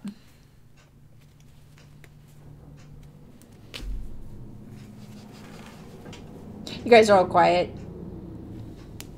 Wasn't your fault. I'm not blaming you that I forgot to change the bobbin back to blue. okay, guys. Well, I still ended up with a fantastic jacket today. Saturday, I'm going to end up with a fantastic pair of jeans, right? So that'll be great. Good week. I need these things. That'll be good. Um, and then um, I kind of wanted to use the denim I cut out too for another pair of Mountain Views because it's super stretchy. And then I think next week maybe I'll do a skirt. You're gonna buy it all in a wool mat. Awesome. I'm about to sneeze. Just gonna warn you guys. Okay. Let's see. Why can't I grab that? I can't grab it. Sometimes the awl is really good for taking out, because you know, the seam ripper has a blade on it, and it's nice to use something without a blade sometimes so that you know you're not going to cut the, cut the fabric. Yeah, that looks so good without a loop. I think that's what I'm to go for. like that. Woof. I'll save this little guy in my little sewing thing over here. Cool, guys. Turned out really cute. Thank you so much for all of the ideas and the feedback. I'm happy. happy with it. You know? This turned out really good. I love it's one this is one of my favorite bindings I've had here at Chicken Boots. I didn't even have any to sell. Um, I would have hoarded another roll of it probably. Yeah, that's pretty cute. What do you guys think? Yeah. You bought a loop turner. All these sponsorship opportunities, I tell you. Thanks, guys. Appreciate all the help today. Thanks for sticking with me for so long. And um, I'm looking forward to the Ginger Jean Saturday. Mainly because that is a selfish so. I'm telling you guys straight up that Saturday stream is a selfish so. I want those. And I was like, oh, I should just sew these on my own time. They've seen me sew these a few times. But then I was like, no, you know what? I I don't need other things right now. I need those. And um, I'm just going to do them straight up, you know? And I'm going to call it a speed run. Like in gaming, they do speed runs of games. So that's what I'm going to do. And it'll be fun. and um, I'm looking forward to it. So I'll see you Saturday, 11 a.m. Pacific. Um, find me on Instagram for any photos or schedule changes. Um, and uh, my website is now sewsew.live and it will slowly change over to completely be sewsew live. So I'm really looking forward to that. And I appreciate you guys coming. Thank you so much. And um, I'm Saremy Duffy. This is Sew Sew Live, and I will see you on Saturday where we make the speed run ginger jeans. So take care, guys.